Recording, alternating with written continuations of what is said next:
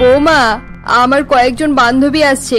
তাড়াতাড়ি তাদের জন্য মটন কষা এবং তিন রকমের সবজি বানিয়ে দাও। এক ঘণ্টার মধ্যেই তারা চলে আসবে। মা, এই মাত্র তো দুপুরের রান্না শেষ হয়েছে। এত কম সময়ের মধ্যে আবার এতগুলো রান্না কীভাবে হবে? কীভাবে হবে মানে? তুমি কি কোনো জায়গার মহারানী, যার জন্য অনেকগুলো চাকর আনতে হবে? চুপচাপ গিয়ে রান্না করো, আর বেশি সমস্যা হলে তোমার ভিকিরি মাকেও ডেকে নিও। কলকাতা শহরে সরলা তার দুই ছেলে বিক্রম এবং রবির সঙ্গে থাকতো। সরলার স্বামী প্রকাশ মারা যাওয়ার আগে তার পরিবারের জন্য অনেক ভালো সম্পত্তি ছেড়ে যায়। পরিবারে কোনো আর্থিক সমস্যা না থাকায় বিক্রম এবং রবি কোনো কাজ করত না এবং তারা অনেক রাত পর্যন্ত বাইরে বাইরে পার্টি করত। এরকমই একদিন সকালে, সকাল দশটা বেজে পার হয়ে গেল। ছেলে দুটো এখনও ঘুম থেকে ওঠেনি। জানি না এদের কি হবে। যাই গিয়ে ওদেরকে তুলে দিই। সরলা এই বলে তার ছেলেদের ঘরে আসে। বাবা দুই ভাই এমন ভাবে ঘুমাচ্ছে যেন কতই না পরিশ্রম করে। কি রে বিক্রম এখনও ঘুমিয়ে আছিস কেন? উঠে পড় বাবা। মা সকাল সকাল বিরক্ত করছ কেন? কাল রাতে অনেক দেরি করে ঘুমিয়েছি একটু শান্তিতে ঘুমাতে দাও। বাবা তোর বয়স হয়ে যাচ্ছে আজ বাদে কাল তোর বিয়ে দিতে হবে। প্রত্যেকদিন বেলা বারোটা পর্যন্ত ঘুমালে কোনো মেয়ে তোকে বিয়ে করবে? বল। মা তুমি এসব কথা বলার অন্য কোনো সময় পেলে না? বিয়ে নিয়ে তুমি চিন্তা করো না। আমাদের যা সম্পত্তি আছে সেটা দেখেই মেয়েরা রাজি হয়ে যাবে। বাবা রবি তুই অন্তত উঠে পড়। উঠে একটু বাজার হাট করে আন। বাজার করানো হলে চাকরকে দিয়ে করিয়ে নাও। আমি এখন উঠবো না। তোদের দুই ভাইকে নিয়ে আমি কি করব জানি না। তোদের রাত্রে পার্টি করা বন্ধ করাতে হবে দেখছি। সে তোমার যা ইচ্ছে করবে। এখন যাও। এমনিতেই আমাদের কাঁচা ঘুম ভেঙে দিয়েছ। আবার প্রথম থেকে ঘুমাতে হবে। এরপর সরলা সেখান থেকে চলে যায়। সরলা তার ছেলেদের শোধরানোর জন্য তাদের বিয়ে দেওয়ার কথা ভাবে এবং বড় ছেলে বিক্রমের জন্য পাত্রী খুঁজতে শুরু করে দেয়। একদিন চন্দনা নামের এক মহিলা ঘটক তাদের বাড়িতে আসে। দিদি আপনার বড় ছেলের জন্য খুব ভালো একটা পাত্রী নিয়ে এসেছি। এই ছবিটা দেখুন। তা মেয়েটার পরিবার কেমন? মেয়েটার বাবা কি করে? আমাদের মতো টাকা পয়সা আছে তো? দিদি মেয়েটার বাবা নেই। তার মা সেলাই মেশিনে কাজ করে করে মেয়েকে পড়াশোনা শিখিয়েছে। চন্দনাদি তুমি কি আমার সঙ্গে মজা করছ? আমরা এত বড় লোক আর এরকম একজন ভিকিরি মেয়ের সঙ্গে আমার ছেলের বিয়ে দেব? আরে দিদি আপনার ছেলেরা কোনো কাজ করে না। সেটা জানতে পেরেই সবগুলো পাত্রীপক্ষ আপনার ছেলেদেরকে রিজেক্ট করে দিচ্ছে। তাছাড়া এই মেয়েটির সঙ্গে আপনার বড় ছেলের বিয়ে দিলে লাভটা কিন্তু আপনারই হবে। এর সঙ্গে আমার ছেলের বিয়ে দিলে আবার কি রকম লাভ? একটু বোঝার চেষ্টা করুন দিদি। এই মেয়েটা আপনাদের বাড়িতে এলে বাড়ির সমস্ত কাজ করবে। আপনাদেরকে তাহলে আর চাকর রাখতে হবে না। তার উপর মেয়েটি গরিব হওয়ায় আপনার ছেলের বদ চরিত্রের কথাও বাইরে কাউকে বলবে না। হুম আচ্ছা ঠিক আছে। তাহলে এই মেয়েটির সঙ্গেই আমার ছেলের বিয়ের ব্যবস্থা করি। সরলা রাজি হয়ে যাওয়ায় কয়েকদিনের মধ্যেই তার বড় ছেলে বিক্রমের সঙ্গে পূজা নামের একটি মেয়ের বিয়ে হয় এবং বিয়ের পর পূজা তার শ্বশুর বাড়িতে চলে আসে। আশীর্বাদ করুন মা, যেন আমি এখানে নিজের দায়িত্ব খুব ভালোভাবে পালন করতে পারি। তোমাকে যখন বাড়ির বউ করে এনেছি, তাহলে কাজ তো তোমাকেই করতে হবে। এতে আশীর্বাদের কি আছে? আজ তোমাদের বাসুর রাত, তাই আজকে ছেড়ে দিলাম। কাল থেকে বাড়ির সমস্ত কাজ তুমিই করবে। আচ্ছা ঠিক আছে, মা, আমি করব। আচ্ছা এবার তুমি ঘরে যাও। বিক্রম হয়তো তোমার জন্য অপেক্ষা করছে। এরপর পূজা তার রুমে চলে যায়। পূজা নিজের রুমে গিয়ে দেখে বিক্রম সেখানে নেই। তাই দেখে সে চুপচাপ বিছানায় বসে থাকে। আজ বিয়ের প্রথম রাত, কিন্তু বিক্রম কোথায় গেল? হয়তো কোনো জরুরি কাজ করছে। না হলে বিয়ের প্রথম রাত্রি এরকম তো কেউই করে না। পূজা বিক্রমকে নিয়ে নানা রকম কথা ভাবতে থাকে। এবং এইভাবে সারা রাত কেটে সকাল হয়ে যায়। পূজা বিক্রমের অপেক্ষা করতে করতে ঘুমিয়ে পড়েছিল। সকালে বিক্রম তার ঘরে এসে পূজাকে ঘুম থেকে তোলে। পূজা ওঠো। তাড়াতাড়ি ওঠো আমি ঘুমাবো। আরে বিক্রম তুমি এসেছ? সারা রাত কোথায় ছিলে? আমার তো খুব চিন্তা হচ্ছিল। তুমি নতুন তাই জানো না। প্রতিদিন রাতে আমি বন্ধুদের সঙ্গে পার্টি করি। কিন্তু বিক্রম বিয়ের প্রথম রাতেও তুমি আমাকে ছেড়ে বন্ধুদের সঙ্গে কাটালে। কেন? বিয়ে করেছি বলে বন্ধুদেরকে ছেড়ে দেবো নাকি? ওসব ন্যাকামো আমার সঙ্গে করতে এসো না। যাও, গিয়ে বাড়ির কাজ করো। আমি ঘুমাবো। বিক্রমের কথা শুনে পূজা খুব কষ্ট পায় এবং দুঃখী মনে ঘুম থেকে উঠে বাইরে বেরিয়ে বাড়ির কাজ করতে শুরু করে দেয়। পূজা বাড়ি পরিষ্কার করে রান্না করতে শুরু করে এবং রান্না করতে করতে ভাবে, জানি না আমি কি পাপ করেছিলাম, যার জন্য এরকম একটা বাড়িতে আমার বিয়ে হয়েছে। এখানে কেউ ভালো নয়। আমার শাশুড়িও আমাকে পছন্দ করে না। স্বামীটাও একই রকম। জানি না, এই বাড়িতে আমি কীভাবে থাকব? পূজা এসব ভাবতে ভাবতে রান্না করছিল। এমন সময় তার শাশুড়ি সেখানে আসে। কি গো বৌমা, সকালের খাবারের জন্য কি এবার তোমার পায়ে ধরতে হবে? না না মা, এ আপনি কীরকম কথা বলছেন? আমি তো জানিই না যে আপনি ঘুম থেকে উঠে পড়েছেন। দাঁড়ান, আমি এক্ষুনি আপনার জন্য ডিম টোস্ট বানিয়ে দিচ্ছি। হ্যাঁ তাড়াতাড়ি বানাও। পাঁচ মিনিটের মধ্যে যেন আমার খাবার ডাইনিং রুমে পৌঁছে যায়। ঠিক আছে, মা। আমি এক্ষুনি করে দিচ্ছি। আর একটা কথা ছিল আপনার সঙ্গে। কি কথা? তাড়াতাড়ি বলো। মা, কাল সারা রাত বিক্রম বাড়িতে ছিল না। সে সারা রাত পার্টি করে সকালে বাড়ি এসে ঘুমিয়েছে। বিক্রমের কোনো জিনিসের অভাব নেই। তাই তার যখন যা ইচ্ছে তাই করবে। তুমি চুপ করে নিজের কাজ করো। আর খবরদার এসব বাড়ির কথা পাঁচ কান করবে না। না হলে কিন্তু খুব খারাপ হয়ে যাবে। সরলা পূজাকে এই বলে সেখান থেকে চলে যায়। কিছু সময় পর পূজার ডিম টোস্ট রান্না করে তার শাশুড়িকে খেতে দেয়। যাও, এবার গিয়ে সকলের রুম থেকে ময়লা জামা কাপড় নিয়ে নাও। সব জামা কাপড় ধোয়া হয়ে গেলে বাথরুমটা ভালো করে পরিষ্কার করে দেবে। শাশুড়ির কথা শুনে পূজা জামা কাপড় আনতে চলে যায়। সরলা বাড়ির চাকরদেরকে কাজ থেকে বের করে দেয় এবং বাড়ির সমস্ত কাজ পূজাকে দিয়েই করাতে শুরু করে। এভাবে শ্বশুর বাড়িতে খুবই কষ্টে পূজার দিন কাটছিল। একদিন দুপুরবেলায় পূজা যখন ঘর পরিষ্কার করছিল, এমন সময় তার শাশুড়ি বলে, বৌমা, আমার কয়েকজন বান্ধবী আসছে। তাড়াতাড়ি তাদের জন্য মটন কষা এবং তিন রকমের সবজি বানিয়ে দাও। এক ঘণ্টার মধ্যেই তারা চলে আসবে। মা, এই মাত্র তো দুপুরের রান্না শেষ হয়েছে। এত কম সময়ের মধ্যে আবার এতগুলো রান্না কীভাবে হবে? কীভাবে হবে মানে? তুমি কি কোনো জায়গার মহারানী, যার জন্য অনেকগুলো চাকর আনতে হবে? চুপচাপ গিয়ে রান্না করো। আর বেশি সমস্যা হলে তোমার ভিকিরি মাকেও ডেকে নিও। ঠিক আছে, মা। যাচ্ছি। দয়া করে আমার মাকে কিছু বলবেন না। সে অনেক কষ্ট করে আমাকে মানুষ করেছে। হ্যাঁ হ্যাঁ। মানুষ করে একেবারে উদ্ধার করে দিয়েছে। চ্যাটাং চ্যাটাং, মুখ না চালিয়ে রান্নাঘরে গিয়ে হাত চালাও। সময়ের মধ্যে রান্না শেষ না হলে আমি কিন্তু তোমার ব্যবস্থা করব। শাশুড়ির মুখে এরকম কথা শুনে পূজা আবার রান্নাঘরে গিয়ে নতুনভাবে রান্না করতে শুরু করে দেয়। সময় কম থাকায় পূজা তাড়াতাড়ি কাজ করতে থাকে। এক ঘণ্টা পর সরলার কয়েকজন বান্ধবী বাড়ি এলে পূজা রান্না শেষ করে তাদেরকে খাবার দিয়ে আসে। আরে সরলা এটাই কি তোর বৌমা? কি আর বলব মালতী আমার পোড়া কপাল তাই এরকম একটা ভিকিরি বৌমা পেয়েছি। আমি তো ভেবেছিলাম কোনো হাই প্রোফাইল মেয়ে তোর বাড়ির বৌমা হবে কিন্তু একে দেখে তো আমি অবাক হয়ে গেলাম। যখন কপালে নেই ঘি ঠকঠকালে কি আর হবে? আর তো কিছু করার নেই। এবার সারা জীবন এই বৌমাকেই সহ্য করতে হবে। শাশুড়ি এবং তার বান্ধবীর কথা শুনে পূজা খুব দুঃখী হয়ে যায় এবং চুপচাপ সেখানে দাঁড়িয়ে থাকে। বৌমা তো পছন্দ হলো না।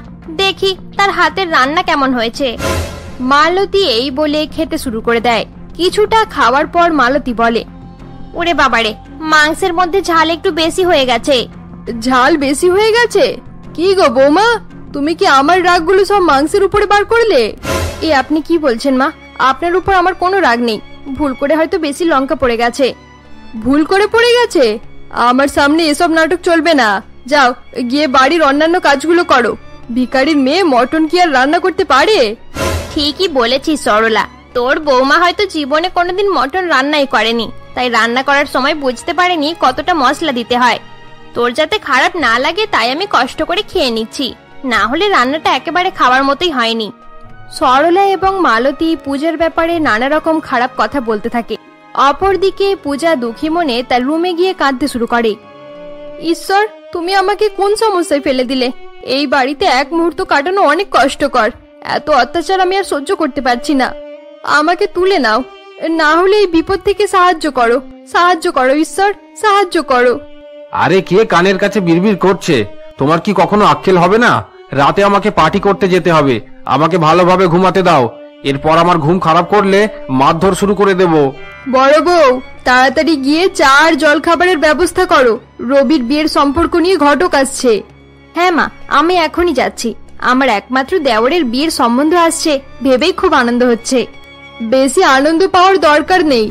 রবির বিয়ে তোমার মতো ভিকিরি মেয়ের সঙ্গে দেব না।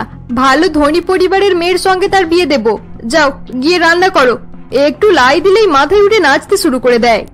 শাশুড়ির মুখে এরকম কথা শুনে পূজা খুব কষ্ট পায় এবং সেখান থেকে রান্নাঘরে চলে যায়। কিছু সময় পর চন্দনা নামের এক মহিলা রবির বিয়ের সম্বন্ধ নিয়ে আসে। দেখুন দিদি, রবির জন্য আমি অনেকগুলো মেয়ের সম্বন্ধ নিয়ে এসেছি।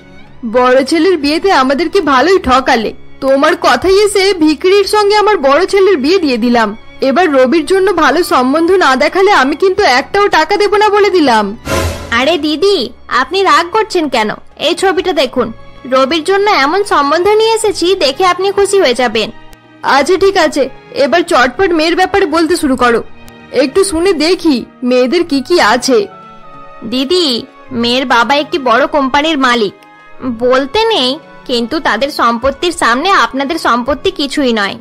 আরে বাহ সেটা তো খুব ভালো কথা। তা বিয়েতে মেয়ের বাবা কি কি দেবেন?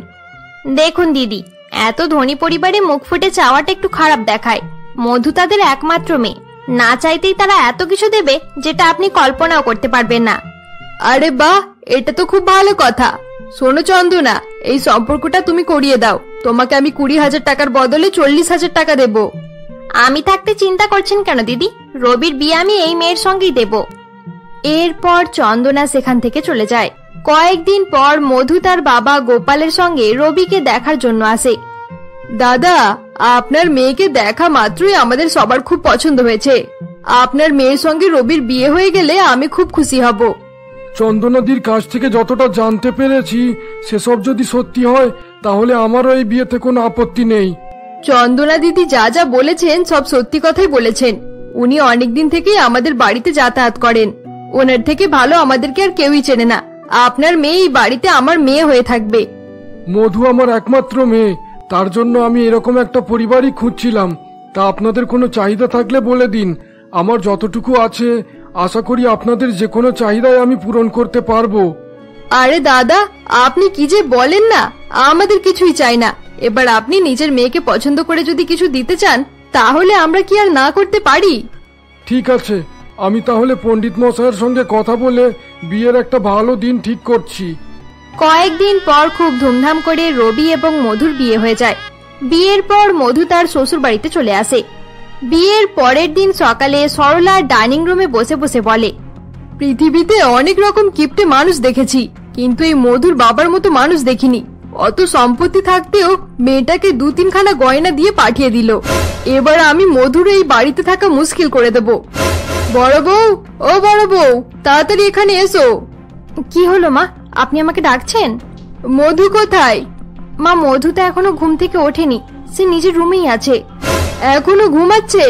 ওই ভিকিরিটাকে ঘুমিয়ে থাকার জন্য আমি এই ঘরে এনেছি। আমাদের বাড়িতে একটা ভিখারি কি যথেষ্ট ছিল না তাই আরেকটা এসে ছুটেছে যাও তুমি নিজের কাজ করো আমি ওকে দেখছি। এরপর সরলা মধুর ঘরে গিয়ে তার দরজা ঠুকতে শুরু করে। আরে ও মহারানী এটা কি তোমার বাবার হোটেল যে এখনও ঘুমাচ্ছ?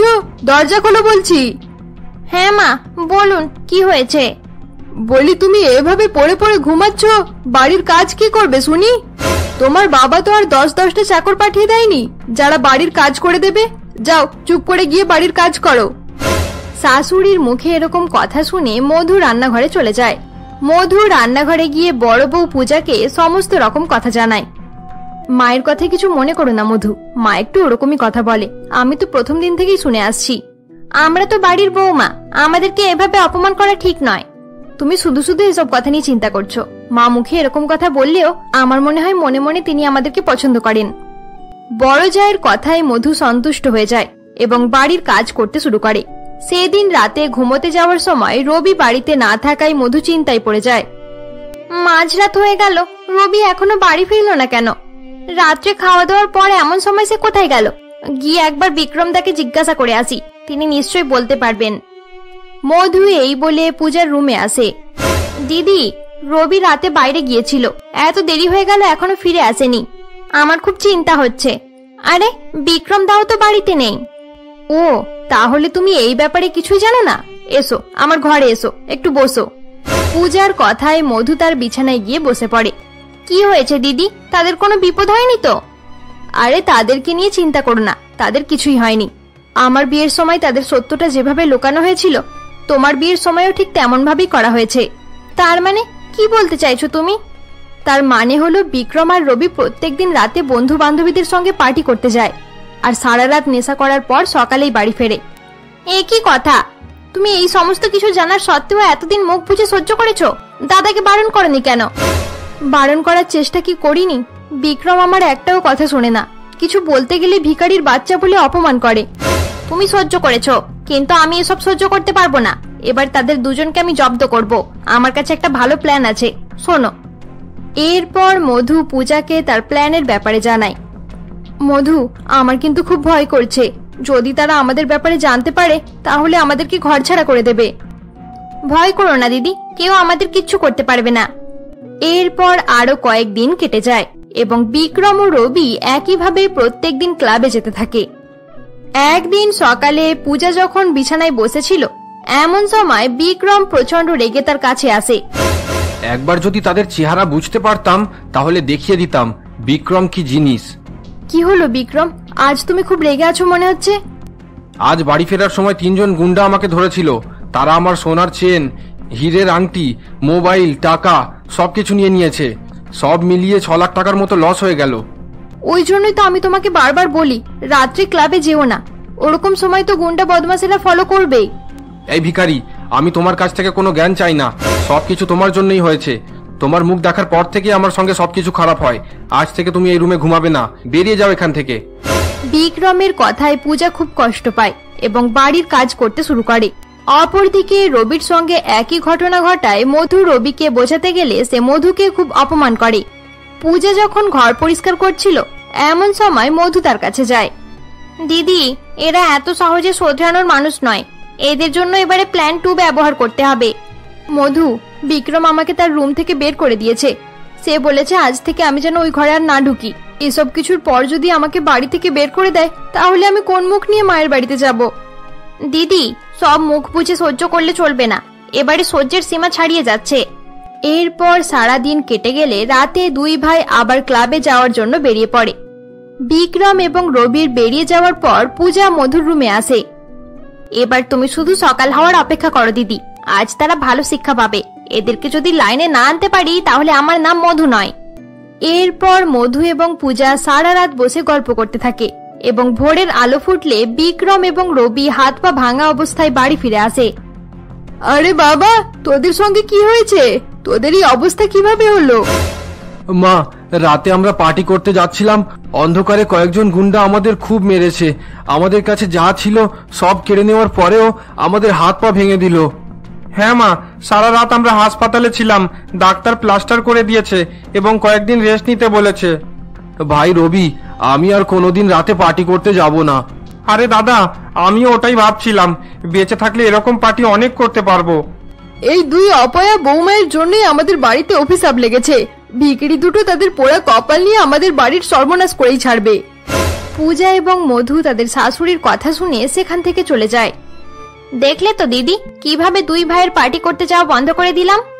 হ্যাঁ মধু, তোমার জন্য আমি মনে অনেকটা জোর পেয়েছি। না হলে ভাবতাম এই বাড়িতে কীভাবে জীবন কাটাবো। তুমি শুধু দেখো, আমি কি কি করি। এবার শুধু আমাদের শাশুড়ি মাকে জব্দ করার পালা। শাশুড়ি মা আমাদেরকে অনেক খেলা দেখিয়েছে। এবার আমাদেরকেও তার মতোই খেলা দেখাতে হবে। দুই ভাই যা জব্দ হয়েছে, আর কোনোদিন রাত্রে বাইরে যাবে না। এবার এদের মাকে জব্দ করতে হবে। হ্যাঁ মধু, মা সবসময় উঠতে বসতে আমাদেরকে আর আমাদের পরিবারের লোকজনদেরকে ভিখারি বলতে থাকে। আচ্ছা ঠিক আছে। তাহলে এবার ওই বড়লোক মহিলাটিকেই তার জায়গা দেখিয়ে দিতে হবে। এবার তুমি কি করবে মধু? তুমি শুধু দেখে যাও।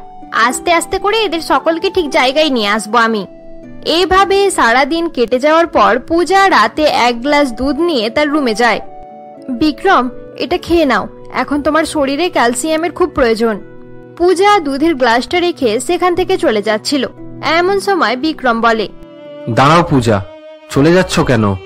তোমার মনে নেই? তুমি আমাকে এই ঘর থেকে বাইরে বের করে দিয়েছ তাই আমি ঘুমানোর জন্য ডাইনিং রুমে যাচ্ছি। তোমাকে কোথাও যেতে হবে না আমার পাশে বসো।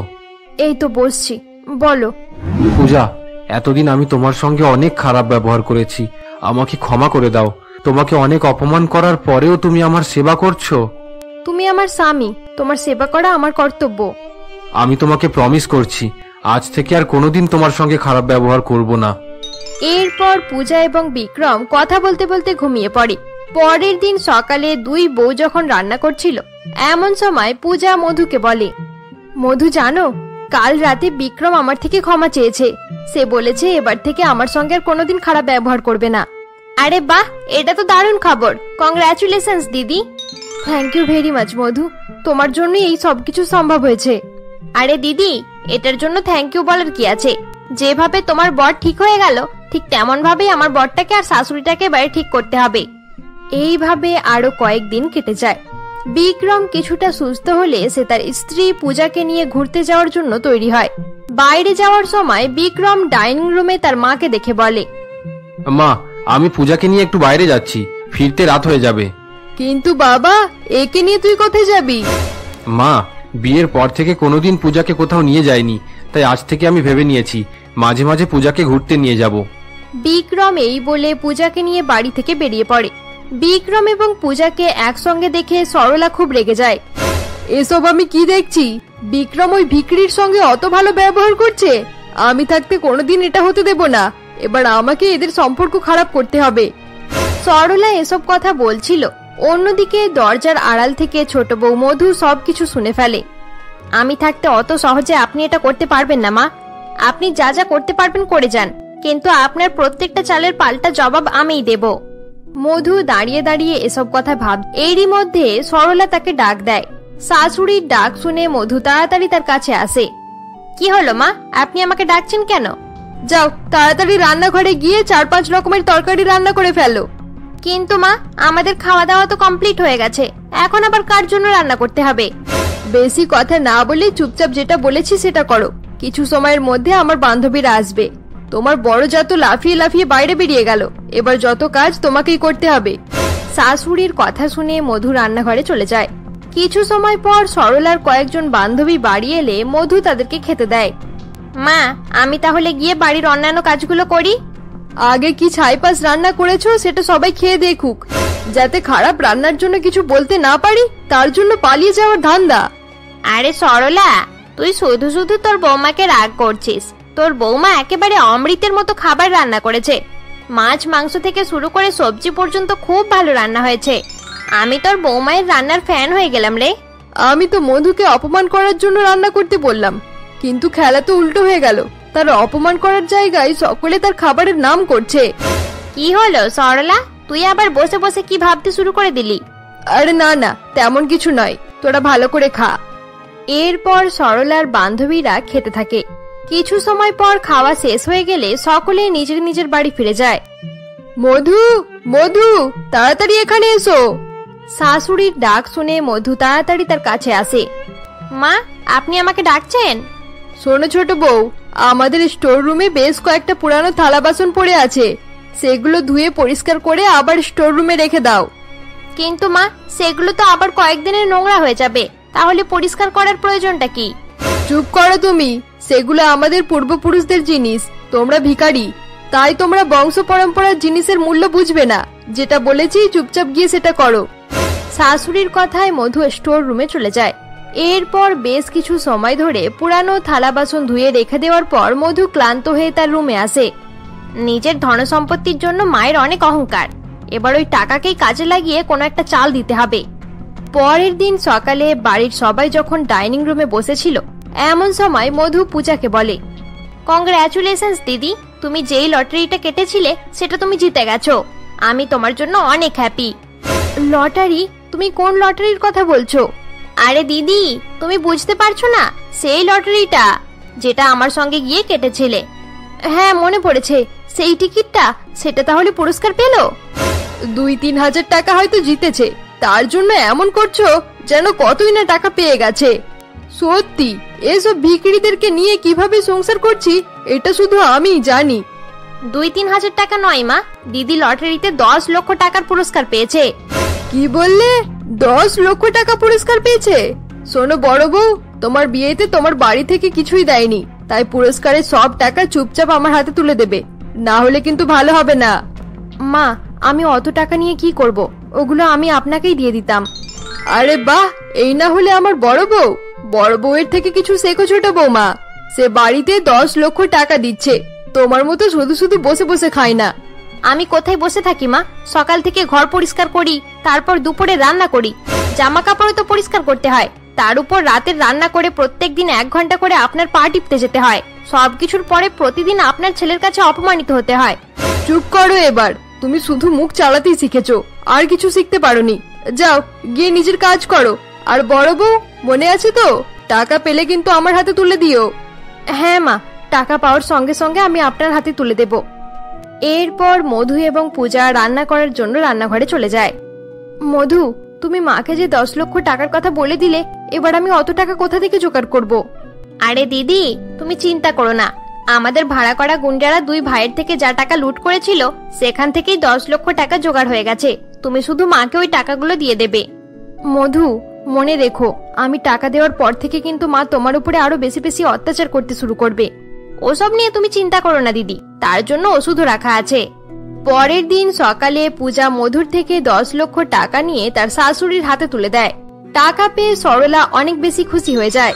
পূজা দশ লক্ষ টাকা দেওয়ার পর থেকে সরলা তার ছোট বউ মধুকে দিয়ে আরও বেশি বেশি কাজ করতে শুরু করে। একদিন রাতে সরলা তার ঘরে বসে বসে মধুকে ডাক দেয়। মধু আরে ও মধু কোথায় মরে গেলে? আমি এসে গেছি মা। বলুন কি হয়েছে? এসে গেছো যখন তাহলে মাথার কাছে দাঁড়িয়ে না থেকে তাড়াতাড়ি আমার পাটা টিপে দাও।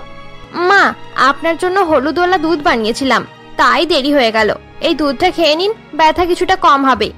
এরপর সরলা হলুদ দেওয়া দুধ খেয়ে নিলে মধু বসে বসে তার পা টিপতে থাকে।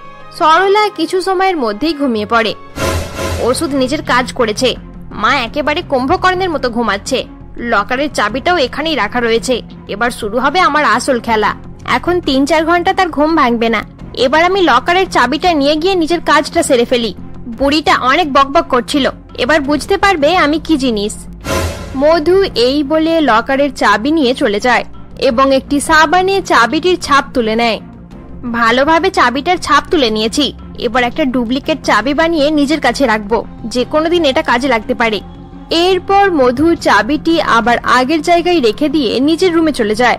একদিকে পূজা এবং বিক্রমের সম্পর্ক ভালো হতে থাকে। দিনের পর দিন তাদের মধ্যে ভালোবাসা বাড়তে থাকে। অন্যদিকে মধু লকারের ডুপ্লিকেট চাবি নিয়ে সেটি ব্যবহার করার জন্য সুযোগের অপেক্ষায় থাকে। একদিন সকালে মধু যখন বাড়ির কাজ করছিল, এমন সময় পূজা তার কাছে আসে। মধু আমাকে তোমার প্ল্যানের মধ্যে রেখো না। যদি কোনো কারণে আমরা ধরা পড়ে যাই তাহলে দুজনকে বিপদে পড়তে হবে। দিদি তোমার আবার কি হলো? তুমি কি এদেরকে শিক্ষা দিতে চাও না? বিয়ের পর থেকে এই প্রথম আমি আমার স্বামীর ভালোবাসা পেয়েছি। সে আমাকে অনেক বিশ্বাস করে। আমি চাই না কোনো কারণে সে আবার আমার উপরে রেগে যাক। তুমি লকারের ডুপ্লিকেট চাবিটা নষ্ট করে দাও। আরে দিদি কেউ জানলে তবেই তো সমস্যা হবে। কেউ জানবে কি করে? আমি জানি তুমি কাউকে বলবে না। আর আমার কাছ থেকে খবর পাওয়া অসম্ভব ব্যাপার। কিন্তু মধু, তবুও আমার অনেক বেশি ভয় করছে। তুমি চিন্তা করো না, দিদি। আমি লকারের ডুপ্লিকেট চাবিটা ব্যবহার করব না। শোনো মধু, এবার তুমি তোমার আর রবির সম্পর্কটা ভালো করার চেষ্টা করো। কারণ শাশুড়ি মাকে শিক্ষা দেওয়ার থেকে ওটা বেশি ইম্পর্টেন্ট রবি আর তোমার মধ্যে সম্পর্ক ভালো হয়ে গেলে তখন আর কোনো সমস্যাই থাকবে না। ঠিকই বলছো, দিদি। এবার আমাকে রবির মন জয় করতে হবে। মধু এই বলে তার ঘরে যায়। মধু তার ঘরে গিয়ে দেখে রবি বসে বসে মোবাইলে চ্যাট করছে। রবি আজ বিকেলে তুমি ফ্রি আছো? কেন? আমি ফ্রি থাকলে তুমি কি করবে? অনেকদিন কোথাও যাওয়া হয়নি। তাই ভাবছিলাম আজ বিকেলে আমরা দুজনে গিয়ে একটা সিনেমা দেখব আর রাতের খাবারটা বাইরে থেকে খেয়ে আসব। না না আমি তোমার সঙ্গে কোথাও যাব না। মা আমাদেরকে একসঙ্গে দেখলে খুব রাগ করবে। তোমার বেশি ইচ্ছা করলে তুমি একাই চলে যাও। এসব তুমি কি বলছো রবি? আমি তোমার স্ত্রী। আমার সঙ্গে কোথাও গেলে সমস্যা কিসের? পূজা দিয়েও তো তার স্বামীর সঙ্গে ঘুরতে বের হয়। তাদের কথা আর বলো না। মা এমনিতেই তাদের উপর খুব রেগে আছে। আমি চাই না এবার আমার জন্য কোনো সমস্যা হোক। আমাকে বিরক্ত করো না। গিয়ে বাড়ির কাজ করো। রবির কথা শুনে মধুর খুব খারাপ লাগে এবং সে তাকে কিছু না বলেই বাইরে বাড়ির কাজে ব্যস্ত হয়ে পড়ে। সেই দিন দুপুরে মধু কিছু খায় না এবং রবিও বাড়ির বাইরে থাকায় পূজা বিক্রম এবং সরলা খেতে বসে। বাহ পূজা তোমার হাতের রান্না অমৃতের মতো। তুমি কীভাবে এত ভালো রান্না করো? তুমি যতটা নাম করছ ততটা কিন্তু ভালো হয়নি। আরে পূজা আমি সত্যি কথাই বলছি খুব ভালো হয়েছে। তোমার খাবারের সামনে দামি দামি রেস্টুরেন্টের খাবারও ফেল হয়ে যাবে। তোদের নাটক দেখে আর সহ্য করতে পারছি না। এত বেশি কথা না বলে চুপচাপ খেতে পারিস না? কি হলো মা? তোমার এত খারাপ লাগছে কেন? আমার স্ত্রী ভালো রান্না করেছে তাই আমি তার নাম করছি। এতে তোমার খারাপ লাগার তো কিছু নেই? আমিও খেয়ে দেখেছি। খাবার খুব একটা ভালো হয়নি। আমার সামনে বসে এত মিথ্যে কথা বলিস না।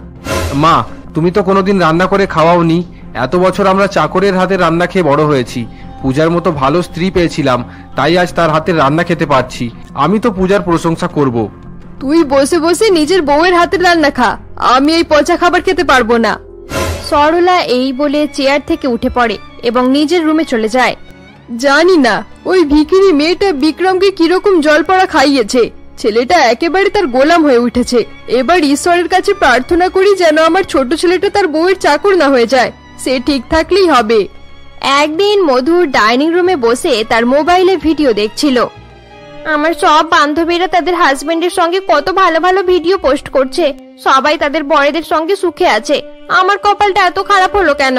আমার বর তো আমাকে একেবারে সহ্যই করতে পারে না। যাই আর একবার রবিকে কোথাও ঘুরতে যাওয়ার কথা বলে দেখি। এই বলে মধু তার ঘরের দিকে যায়। আরে তুমি চিন্তা করো না আমি টাইম মতো পৌঁছে যাব। আরে হ্যাঁ হ্যাঁ আমার ভালো করেই জানা আছে তুমি পিৎজা খেতে খুব পছন্দ করো তাই যাওয়ার সময় আমি একটা বড় পিৎজা নিয়ে যাব। হ্যাঁ হ্যাঁ। আরে তোমার সঙ্গে দেখা করার সুযোগ কি আমি কোনোদিন হাতছাড়া করেছি? রবি কার সঙ্গে এত কথা বলছিলে?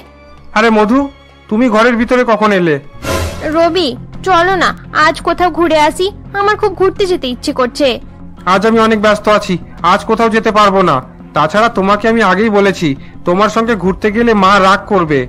কিন্তু রবি বিয়ের পর থেকে তোমার সঙ্গে কোথাও ঘুরতে যাওয়া হয়নি। এখন আমাদের হানিমুন বাকি আছে। চলো আমরা হানিমুনের জন্য কোথাও থেকে ঘুরে আসি। আমি তোমাকে বললাম তো তোমার সঙ্গে ঘুরতে যাওয়ার ইচ্ছে আমার নেই তুমি আমার মাথা খারাপ করো না। মধু এবং রবি কথাই বলছিল। এরই মাঝে সরলা সেখানে আসে। শ্বশুর বাড়িতে এসে কয়েকদিন হতে না হতেই আমার ছেলের উপর জোর দেখানোর চেষ্টা করছ? রবি তোমার সঙ্গে কোথাও যাবে না। যাও বাড়ির কাজ করো। বাবা রবি তোর যেখানেই যেতে ইচ্ছে করে তুই সেখানেই যা। যদি টাকার প্রয়োজন হয় আমার আলমারি থেকে নিয়ে নিস। আর বৌমা তুমি গিয়ে বাড়ির কাজ করো। শাশুড়ি এবং স্বামীর খারাপ ব্যবহার দেখে মধু দুঃখী মনে সেখান থেকে বেরিয়ে রান্নাঘরে চলে যায়। কি হয়েছে মধু? আজ তোমার মন খারাপ কেন?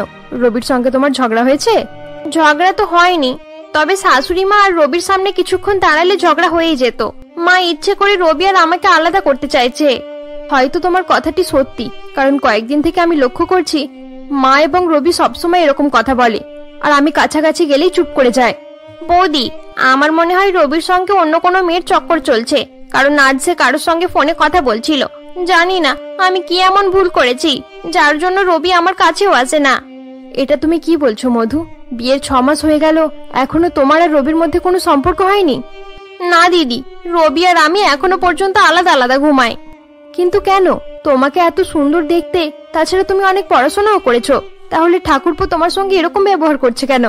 আমি ওসব কিচ্ছু জানি না, দিদি। আচ্ছা ঠিক আছে, তুমি একদম চিন্তা করো না, সবকিছু ঠিক হয়ে যাবে, আমি রবির সঙ্গে এই বিষয়ে কথা বলব। এই বলে পূজা রান্নাঘর থেকে বেরিয়ে রবির ঘরের দিকে যায়। পূজা যখন ডাইনিং রুমের পাশ থেকে যাচ্ছিল, এমন সময় তার শাশুড়ি তাকে বলে, আরে বড় বউ, রান্নার কাজ সব হয়ে গেল? না মা, রান্না এখনও হয়নি। আমি একটু ঠাকুরপুর সঙ্গে কথা বলতে চাচ্ছি কোথাও যেতে হবে না।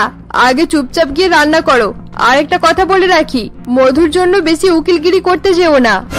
মা, আমি তো এই বাড়ির বড় বউ, তাই আমার একটা কর্তব্য রয়েছে। আর আমি সেটাই করতে যাচ্ছি। তাহলে তুমি কি আমার কথা শুনবে না?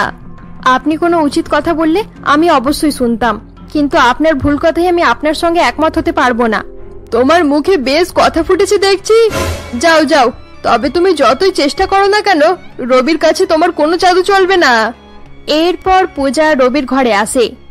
আরে আমার নতুন শার্টটা কোথায় গেল? মধু? আরে ও মধু কোথায় গেলে? ঠাকুরপো তুমি কোথাও যাচ্ছ? হ্যাঁ বৌদি একটু বাইরে যাব। কেন? আসলে তোমাকে একটা কথা বলার জন্য এখানে এসেছি। মধু খুব ভালো মেয়ে সে তোমাকে অনেক ভালোবাসে। তুমি তাকে একটু সময় দিতে পারো না? তুমি আবার এসব কথা বলছো কেন? আমি যেমন আছি ভালো আছি। না রবি এসব কিন্তু একদম ঠিক হচ্ছে না। মধু তোমার স্ত্রী তার সঙ্গেই তোমাকে সংসার করতে হবে। তাই স্বামী হিসেবে তোমাকে তার খেয়াল রাখা দরকার। শুধুমাত্র তুমি আমার দাদার স্ত্রী তাই তোমাকে কিছু বলছি না। না হলে না হলে কি রবি? আমি তোমার ভালোর জন্যই তো বলতে এসেছি। বৌদি তুমি আমার ব্যাপারে বেশি নাক গলানোর চেষ্টা করো না। না হলে মাকে বলে তোমাদের দুজনকেই বাপের বাড়িতে ছেড়ে দিয়ে আসব। আর আমার খুশি নিয়ে তোমাকে চিন্তা করতে হবে না। আমি মধুর থেকে আলাদা হয়েই বেশি ভালো আছি। রবির কথা শুনে পূজা দুঃখী মনে সেখান থেকে রান্নাঘরে চলে যায়। আমি জানতাম রবি তোমাকেও অপমান করবে। শুধু শুধু আমার জন্য তোমাকে অত কথা শুনতে হবে। এদেরকে জব্দ করার জন্য আমাকে কিছু একটা করতে হবে। এরা এত সহজে শুধরানোর মানুষ নয়। তুমি ঠিক বলেছ, মধু। আচ্ছা মধু, রবি কোথাও যাওয়ার জন্য তৈরি হচ্ছে। চলো, আমরা তাকে ফলো করব। দেখি, সে কোথায় যায়। এরপর রবি তৈরি হয়ে বাইরে বেরোলে মধু এবং পূজাও তার পেছনে যায়। রবি একটি ট্যাক্সি করে বেরিয়ে পড়ে এবং পেছনে মধু এবং পূজাও অন্য গাড়ি করে তাকে ফলো করতে শুরু করে। এভাবেই বেশ কিছুক্ষণ গাড়ি চলার পর রবির গাড়ি একটি বাড়ির সামনে গিয়ে দাঁড়ায়। রবি, এই বাড়িতে কার সঙ্গে দেখা করতে আসে? চলো দিদি, আমরা গিয়ে দেখে আসি। হ্যাঁ মধু, চলো। ওই তো, ওখানে একটা জানালা আছে দেখতে পাচ্ছি। সেখান থেকে আমরা দেখতে পাবো। এরপর রবি বাড়ির ভেতরে ঢুকে পড়লে পূজা এবং মধু একটি জানালার কাছে গিয়ে ভেতরের দিকে দেখতে থাকে। আমি এসে গেছি, নিতা ডার্লিং। সরি, তোমাকে অনেক ওয়েট করানো হলো। আরে ডার্লিং তুমি এরকম করে বলছো কেন? এইটুকু ওয়েট তো করতেই পারি। আজ আমি সারাদিন তোমার সঙ্গে থাকব। একেবারে রাতের সময় বাড়ি ফিরবো। সত্যি বলছো ডার্লিং তাহলে দাঁড়াও আমি তোমার জন্য কোনো টেস্টি খাবার বানাই। আরে নিতা তোমার মতো এত সুন্দর মেয়ে রান্না করবে সেটা একদম ভালো লাগবে না। তুমি নিজেকে এত কষ্ট দিও না। আরে কি যে বলো না তুমি তোমার কথা শুনে আমি লজ্জা পেয়ে গেলাম। আমি পিৎজা নিয়ে এসেছি যদি খিদে পায় দুজনে সেটাই খেয়ে নেব। রবি তাহলে লুকিয়ে লুকিয়ে এই মেয়ের সঙ্গে দেখা করতে আসে? ছি, আমার বলতেও লজ্জা করছে যে এই ছেলে আমার স্বামী। দুঃখ করো না, মধু সব কিছু ঠিক হয়ে যাবে। তুমি চেষ্টা করলে রবি শুধরে যাবে। দুঃখ নয়, বৌদি, আমার রাগ হচ্ছে। এতদিন অনেক সহ্য করেছি, আর নয়, আজ রবি বাড়ি ফিরুক, তার ব্যবস্থা আমি করবই। চলো, আমরা বাড়ি ফিরে যাই। আচ্ছা ঠিক আছে, চলো। এখানে থাকলে তোমার আরও বেশি মাথা গরম হয়ে যাবে। এরপর পূজা এবং মধু বাড়ি ফিরে যায়। বাড়ি ফিরে মধু যখন ডাইনিং রুমের পাশ থেকে যাচ্ছিল, এমন সময় শাশুড়ি সরলা তাকে বলে, দাঁড়াও মধু, ড্যাং ড্যাং করে কোন জায়গা থেকে চলে আসছো? মা, একটু বাইরে গিয়েছিলাম। সে তো আমিও দেখতে পাচ্ছি যে তোমরা বাইরে থেকে আসছো। বাড়ির কাজ কি তোমার বাবা এসে করে যাবে? তোমাকে বাড়ি থেকে শিক্ষা দিয়ে পাঠায়নি যে কোথাও যেতে হলে শাশুড়িকে জিজ্ঞাসা করে যেতে হয়? এরপর থেকে আমাকে জিজ্ঞাসা না করে যদি কোথাও যাও, তাহলে ভালো হবে না কিন্তু। বেশ করেছি বাইরে গিয়েছি। প্রত্যেক দিন যাব আর ঘুরেও বেড়াবো যেমন আপনার ছেলেরা যায়। হ্যাঁ? এর আবার কি হলো? একটা কথা ভালো করে শুনে রাখুন আমি আপনার বড় বৌমা নয়। যে আপনি যা বলবেন চুপচাপ মেনে নেবে আমার সঙ্গে সাবধানে কথা বলবেন। না হলে নারী নির্যাতনের কেস দিয়ে মা আর ছেলে দুজনকেই জেলে পাঠিয়ে দেব। আর একটা কথা নিজেকে সবসময় বড়লোক বড়লোক বলেন আর বাড়িতে একটা চাকর রাখতে পারেন না? কি দিন এসে গেছে বাড়ির বউয়ের মুখে এসব কথা শুনতে হচ্ছে। আমার বড় বৌমা কত ভালো, তাকে কত কিছু বলি, কিন্তু কোনোদিনও পাল্টা জবাব দেয় না। আর ছোট বৌমা এমন পেয়েছি, সব সময় ঝগড়া করার জন্য তৈরি থাকে। তোমার নির্লজ্জ বাপ তো কিছু না দিয়েই পাঠিয়ে দিল। তার উপর তুমি চাকরের কথা কোন লজ্জায় বলছো? মধু একদম ঠিক কথাই বলছে, মা। আমিও আজ থেকে বাড়ির কাজ করতে পারব না। বিক্রম আমাকে বাড়ির কাজ করতে বারণ করেছে। সে বলেছে, বাড়ির কাজ করে করে আমার সৌন্দর্য নষ্ট হয়ে যাচ্ছে। মধুর সঙ্গে থাকতে থাকতে তোমার মুখেও বেশ কথা ফুটেছে দেখছি। কথা তো ফুটতে হবেই, মা। এভাবে সহ্য করে থাকলে আপনি তো আমাদেরকে শেষ করে ফেলবেন। তোমরা বাড়ির কাজ না করলে বাড়ির কাজ কারা করবে? ভালো হবে আপনি বাড়িতে কাজ করার জন্য চাকর রেখে নিন। না হলে এই বয়সে আপনি কাজ করবেন, দেখতে খুব খারাপ লাগবে। তোমাদের দুজনকেই দেখে নেব আমি। দুই ভিকিরির মেয়েকে একদিন এই বাড়ি থেকে বের করেই ছাড়বো। আমাকে তোমরা এখন ভালোভাবে চেনো না। আমার নাম সরলা। এত সহজে আমি হার মানি না। এরপর পূজা এবং মধু সেখান থেকে চলে যায়। রাতে মধু নিজের ঘরে বসে রবির আসার অপেক্ষায় থাকে। আজ রবি বাড়ি ফিরুক, তার ব্যবস্থা আমি করব। অনেক ছাড় দিয়েছি, এবার আর সহ্য করলে চলবে না। মধু বসে বসে নানা রকমের চিন্তা করছিল। এই মাঝে রবি বাড়ি ফিরে আসে। এত রাত হয়ে গেল, কোথা থেকে বাড়ি ফিরছো? কেন? তোমাকে সবকিছু জানাতে হবে? আমি যেখানেই যাই না কেন তাতে তোমার কি? আমি যদি রাত রাত পর্যন্ত তোমার মতো বাইরে থাকি তাহলে কি দেখতে ভালো লাগবে? কোথাও যাইনি এমনি বাইরে গিয়েছিলাম। সে আমি ভালো করেই জানি তুমি কোথায় ছিলে। আচ্ছা বলো তো এরকম আর কতগুলো মেয়ের সঙ্গে তোমার সম্পর্ক রয়েছে? ওরকম নোংরা মেয়ের সঙ্গে তোমার বিয়ে হলেই বেশি ভালো হতো। মুখ সামলে কথা বলবে মধু। বেশ করি দেখা করতে যাই। আমি নিজের বাবার টাকায় আয়েস করি তোমার বাবার টাকায় নয়। ওই জন্যই তো বাবা তোমাকে একটা টাকাও দেয়নি।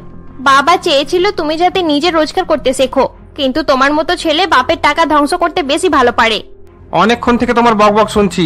অতই যদি সমস্যা হচ্ছে তাহলে বাড়ি থেকে বেরিয়ে যাও। তুমি চলে গেলে আমি নিতাকে বিয়ে করব। অত সহজে আর হচ্ছে না। বলে দিলেই বাড়ি থেকে বেরিয়ে যাব না। আগে আইনিভাবে ডিভোর্স দাও আর তার সাথে সাথে প্রত্যেক মাসের খরচাটা দিতে হবে। এবার একে প্রতি মাসের খরচ কীভাবে দেব? মধু এবং রবি এভাবে ঝগড়া করতে থাকে। এবং দরজার আড়াল থেকে সরলা সবকিছু দেখে। আরে বাহ! আমার ছোট ছেলেটা বেশ ভালো জব্দ করেছে মধুকে। আজ আমার সঙ্গে অনেক ঝগড়া করেছিল মেয়েটা। এবারের অবস্থা দেখে খুব আনন্দ হচ্ছে। অপরদিকে বড় বৌমা পূজা তার শাশুড়িকে এভাবে ছোট বউয়ের ঘরে নজর রাখতে দেখে খুব রেগে যায়। কি ফালতু মহিলা রে বাবা! লুকিয়ে লুকিয়ে ছেলে বৌমায়ের ঝগড়া দেখে আনন্দ পাচ্ছে। এরকম মহিলা থাকলে বাড়িতে সুখ কোনোদিনও আসবে না। এরপর সরলা সেখান থেকে তার রুমে চলে গেলে পূজাও তার পেছনে পেছনে যায় এবং জানালা থেকে তার ঘরে উঁকি মারে। হ্যালো নিতা তুমি খুব ভালো কাজ করছ। এইভাবে আমার ছোট ছেলেটাকে আরও ছয় মাস নিজের জালে ফাঁসিয়ে রাখো। রবির ডিভোর্স হয়ে গেলে কোনো ধনী পরিবারের মেয়ের সঙ্গে তার বিয়ে দেব। আরে আন্টি আপনাকে একদম চিন্তা করতে হবে না। কাজটা যখন আমার হাতে দিয়েছেন তাহলে সবকিছু আমার উপরে ছেড়ে দিন। ছয় মাসের আগেই আপনার ছেলের ডিভোর্স করিয়ে দেব। শোনো নিতা ছোট ছেলেটার ব্যবস্থা তো হয়ে যাবে, কিন্তু এবার তোমাকে আমার বড় ছেলেটার সঙ্গেও এরকম কিছু একটা করতে হবে, যাতে আমি তারও ডিভোর্সটা করিয়ে দিতে পারি। আপনার বড় ছেলের জন্য একটু বেশি টাকা লাগবে, সে তার বউয়ের পেছনে পাগল হয়ে রয়েছে। তোমাকে টাকার চিন্তা করতে হবে না, তুমি শুধু আমার কাজগুলো করে দাও, তুমি যত টাকা চাইবে আমি দিতে রাজি আছি। তাহলে ঠিক আছে, বড় ছেলেটাকে নিজের জালে ফাঁসানোর কাজও কিছুদিন পর থেকেই শুরু করে দেব। আচ্ছা ঠিক আছে, আমি তাহলে এখন রাখছি। জানালার আড়াল থেকে শাশুড়ির এসব কথা শুনে পূজা অবাক হয়ে যায়। তাহলে এই সবকিছু মায়ের করানো? সত্যি, কোনো মা যে ছেলেদের সংসার ভাঙার জন্য এত নিচে নামতে পারে, এটা তো ভাবাই যায় না। পূজা এই বলে তার ঘরের ভেতরে চলে যায় এবং পাইচারি করতে থাকে। না, এবার সবকিছু মধুর উপর ছাড়লে হবে না, আমাকেও কিছু একটা করতে হবে। মা এরপর আমাকে আর বিক্রমকে আলাদা করার প্ল্যানও করছে। এত সহজে আমি মায়ের প্ল্যান সফল হতে দেব না। এবার এই যুদ্ধে আমাকেও কোমর বেঁধে নামতে হবে। পরের দিন নিতা যখন ঘরে বসেছিল এমন সময় মাস্ক পরা একটি লোক তার সঙ্গে দেখা করার জন্য আসে। তিন লাখ টাকার কথা হয়েছিল আর তুমি আমাকে দু লাখ টাকা দিচ্ছ? আরে নিতা আমি কি কোনোদিন তোমাকে কম টাকা দিয়েছি? শুধু একটা ছোট কাজ করে দাও। ওটা করে দিলেই বাকি এক লাখ টাকাও তোমাকে দিয়ে দেব। হ্যাঁ বলো এবার আমাকে কি করতে হবে? একটা ছেলে আছে মদন তাকে ব্লু হেভেন হোটেলে মাত্র দু ঘণ্টার জন্য আটকে রাখতে হবে, যাতে তার স্ত্রী তাকে দেখে ফেলে এবং তাদের মধ্যে বিভেদ সৃষ্টি হোক। কেমন করে কি করতে হবে, তোমার তো সবই জানা আছে। তাহলে তুমি এই কাজটা করে দিও। এই সামান্য কাজ করতে হবে? এটা করা আমার জন্য কোনো ব্যাপারই নয়। ঠিক আছে, তোমার কাজ হয়ে যাবে।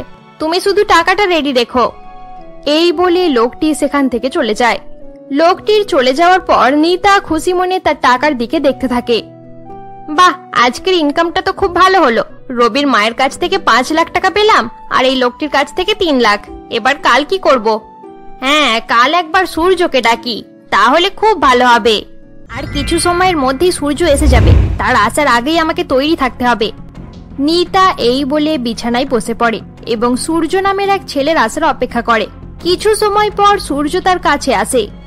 হ্যাঁ বলো নিতা, তুমি এত আর্জেন্টলি আমাকে ডাকলে কেন? কোনো প্রবলেম হয়েছে? সূর্য গ্রাম থেকে ফোন এসেছিল। মায়ের শরীর অনেক খারাপ। মায়ের চিকিৎসার জন্য তিন লক্ষ টাকারও প্রয়োজন। এত টাকা আমি কীভাবে জোগাড় করব বুঝে উঠতে পারছি না। হয়তো মাকে আর বাঁচাতেও পারব না। তিন লাখ টাকা? তুমি চিন্তা করো না নিতা। আমি যেমন করেই হোক টাকার ব্যবস্থা করে দেব। মায়ের কিছু হতে দেব না। তুমি সত্যি বলছো Surya? Thank you very much Surya. জানি না তুমি না থাকলে আমার কি হতো? আমি তোমাকে অনেক ভালোবাসি। আমিও তোমাকে অনেক ভালোবাসি নিতা। আচ্ছা শোনো না তিন বছর হয়ে গেল আমরা রিলেশনশিপে আছি তাই আমি ভাবছিলাম এবছরের শেষের দিকে আমরা বিয়ে করে নি আর কতদিন আমরা এভাবে আলাদা আলাদা থাকব? সত্যি বলছো সূর্য। আমি অনেক লাকি যে তোমার মতো লাইফ পার্টনার পাবো। I love you so much Surya. এবারে তুমি বুঝতে পারবে নিতা ডার্লিং কত ধানে কত চাল। তোমার আর তোমার বয়ফ্রেন্ডের সমস্ত কথাবার্তা আমি এই ফোনে রেকর্ড করে নিয়েছি। তোমার খেলা আর বেশি দিন চলবে না। নিতা এবং সূর্যের কথোপকথন পূজা জানালার বাইরে থেকে ভিডিও বানিয়ে নেয় এবং এরপর সে তার বাড়ির দিকে চলে যায়। অপরদিকে ছোট বউ মধু তার এক বান্ধবী কাজলের কাছ থেকে জানতে পারে যে তার স্বামীও নিতাকে খুব ভালোবাসে। এর মানে একটাই, নিতা ছেলেদেরকে নিজের ভালোবাসার জালে ফাঁসিয়ে তাদের থেকে টাকা আদায় করে। কিন্তু মধু, আমার মনে হয় দোষটা আমাদের স্বামীদেরই। কারণ তারা নিজের ইচ্ছেই তার কাছে না গেলে নিতা তাদেরকে কীভাবে তার জালে ফাঁসাতো? আরে কাজল, আমি এটা বলছি না যে আমাদের স্বামীরা কোনো দোষ করেনি। আমি তো এটা বলতে চাইছি যে আমরা চাইলে নিতার সত্যিটা সামনে এনে দিয়ে আমাদের স্বামীদেরকে তার জাল থেকে ছাড়াতে পারব। হ্যাঁ এটা তুই একদম ঠিক কথা বলেছিস। কিন্তু সেখান থেকে ছাড়া পেয়ে তারা যদি আবার অন্য কোথাও লাইন করা শুরু করে দেয়? আরে কাজল, এত বেশি নেগেটিভ হলে বেঁচে থাকা মুশকিল হয়ে যাবে। তোর কথাটা সত্যি হতে পারে। তবে একবার ভেবে দেখ, যদি নিতার সত্যিটা জানার পর আমাদের স্বামীরা তাদের ভুল বুঝতে পারে আর ভালো হয়ে যায়, তাহলে কিন্তু আমাদের সব সমস্যা শেষ হয়ে যাবে। হ্যাঁ মধু, তুই একদম ঠিক কথাই বলছিস।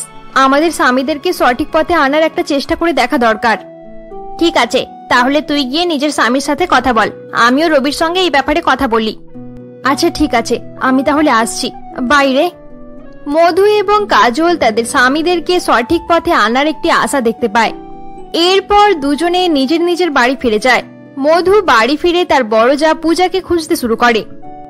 দিদি দিদি কোথায় গেলে? পূজা দি? আরে মধু তুমি এতক্ষণ কোথায় ছিলে? আমি অনেকক্ষণ থেকে তোমাকেই খুঁজছিলাম। তোমাকে একটা ইম্পর্টেন্ট জিনিস দেখানোর আছে। দিদি তার থেকেও ইম্পর্টেন্ট কথা আমি তোমাকে বলব। তাড়াতাড়ি চলো। আচ্ছা ঠিক আছে চলো। আমার রুমে যাই। এরপর পূজা মধুকে নিয়ে তার ঘরে চলে যায়। অপরদিকে ডাইনিং রুমে বসে সরলা সব কথা শুনে ফেলে। কি ব্যাপার? আজ দুজনকে অনেক বেশি খুশি মনে হচ্ছে কেন? নিশ্চয়ই দুজনে কোনো জরুরি কথা বলতে গেছে। আমাকে একটু শুনতে হবে। আমার সত্যিটা বাইরে ফাঁস হয়ে গেলে চলবে না। এরপর সরলা ও পূজার রুমের দিকে যায়। সরলা পূজার ঘরের দরজার বাইরে লুকিয়ে তাদের কথা শুনতে শুরু করে। মধু, আমরা যেই বিষয়ে কথা বলছি, হয়তো সেটাকেও শোনার চেষ্টা করতে পারে। তাই আমাদেরকে কথা বলার আগে দরজা বন্ধ করে দেওয়া দরকার। হ্যাঁ দিদি, তুমি একদম ঠিক কথাই বলেছ। ওই বুড়িটার কোনো বিশ্বাস নেই। বুড়িটা ঠিক কোনো না কোনো ভাবে আমাদের কথা শুনে ফেলতে পারে।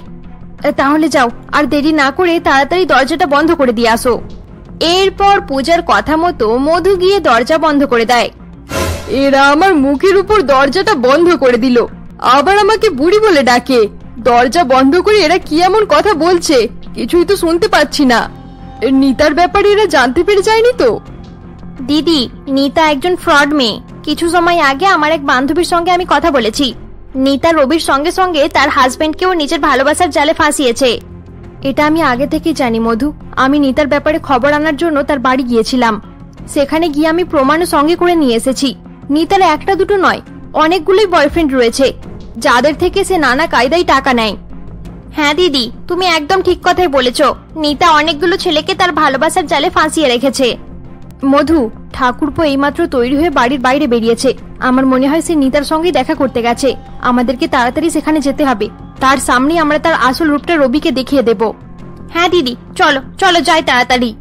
এই বলে পূজা এবং মধু দরজা খুলে তাদের রুমের বাইরে বেরিয়ে আসে। তারা বাইরে বেরিয়ে দেখে তাদের শাশুড়ি সরলা দরজার বাইরে দাঁড়িয়ে রয়েছে। আরে মা আপনি এখানে? দুজনে তৈরি হয়ে কোথায় যাচ্ছ? এখনও রান্না করনি কেন? কেন মা কাল আপনাকে যেটা বলেছিলাম সেটা কি ভুলে গেছেন? রান্না করার জন্য চাকর রেখে নিন আর যদি না রাখতে পারেন তাহলে নিজের হাতে রান্না করে খান। আমরা আর রান্না করতে পারব না। কি? তোমরা রান্না করবে না? মা আমারও একটা কথা শুনে নিন। কিছু সময় পরেই আমরা ফিরে আসব। ফিরে এসে যেন দেখি সব রান্না হয়ে গেছে। সময়ে খাবার না পেলে আপনার কপালেও দুঃখ রয়েছে। এই বলে পূজা এবং মধু বাড়ি থেকে বেরিয়ে পড়ে। আমার নামও সরলা। এত সহজে আমার থেকে পেরে উঠতে পারবে না। এদের দুজনকে জব্দ করতেই হচ্ছে। অপরদিকে সূর্য নিতার সঙ্গে তার ঘরে বসেছিল। এমন সময় মধুর স্বামী রবি নিতার বাড়ির দরজা নক করে। ওরে বাবারে মনে হচ্ছে রবি এসে গেছে। তার আশাই তো একটু সময় বাকি ছিল। এত তাড়াতাড়ি চলে এলো কেন? এবার আমি কি করি?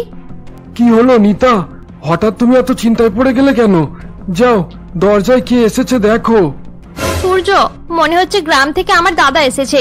দাদা তোমাকে আমার সঙ্গে এখানে দেখে নিলে খুব খারাপ হয়ে যাবে। তারপর হয়তো আমাকে জোর করে গ্রামে ফিরিয়ে নিয়ে যেতে পারে। এসব তুমি কি বলছো? হ্যাঁ সূর্য আমি ঠিক কথাই বলছি।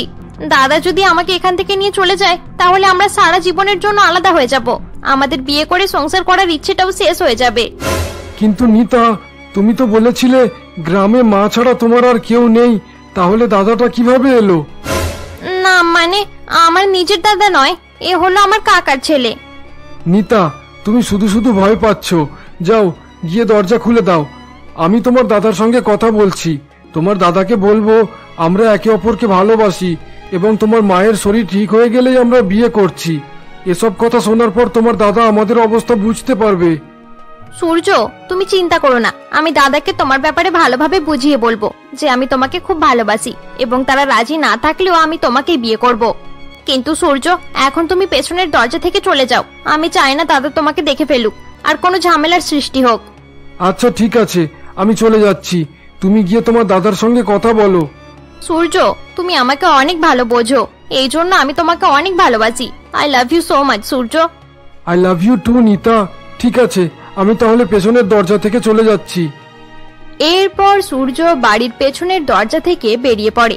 অপরদিকে নিতা দরজা খুলে রবিকে বাড়ির ভেতরে ডেকে নেয়। এতক্ষণ তুমি কি করছিলে নিতা? আমি কখন থেকে দরজায় দাঁড়িয়েছিলাম? আরে রবি আমি তো স্নান করছিলাম। তুমি যাতে বাড়ি এলে তোমার সামনে আমাকে ফ্রেশ দেখায়। আরে ডার্লিং তোমাকে আমার সব সময় ফ্রেশ মনে হয়। আচ্ছা চলো এখানে দাঁড়িয়ে না থেকে আমার বেডরুমে গিয়ে গল্প করি। কিছু সময়ের মধ্যে পূজা এবং মধু নিতার বাড়ির কাছে চলে আসে এবং বাড়ির দরজা খোলা থাকায় তারা দুজনে চুপি চুপি বাড়ির ভেতরে ঢুকে পড়ে। কি বলব রবি? বলতে খুব লজ্জা করছে কিন্তু আমার কাছে কোনো উপায়ও নেই। তুমি আমার সঙ্গে লজ্জা করছ কেন? কি ব্যাপার বলো?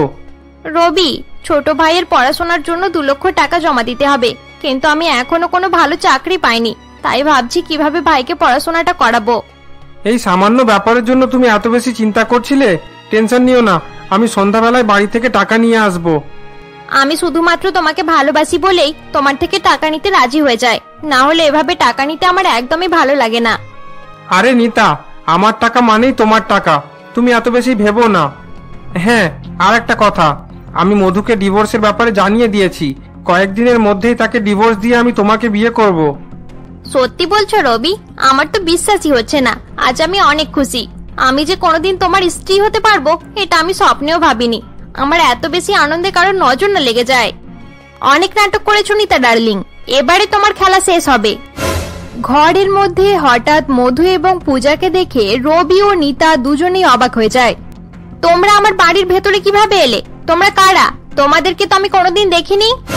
তুমি আমাদেরকে চেনো না তবে আজকে খুব ভালোভাবেই চিনতে পেরে যাবে এবং সারা জীবন মনেও থাকবে। বৌদি তোমরা এখানে কেন এসেছ? চলে যাও এখান থেকে না হলে ভালো হবে না। দাঁড়াও রবি আমাদের এখান থেকে তাড়ানোর আগে তোমাকে এই মেয়েটির ব্যাপারে কিছু দেখাতে চাই।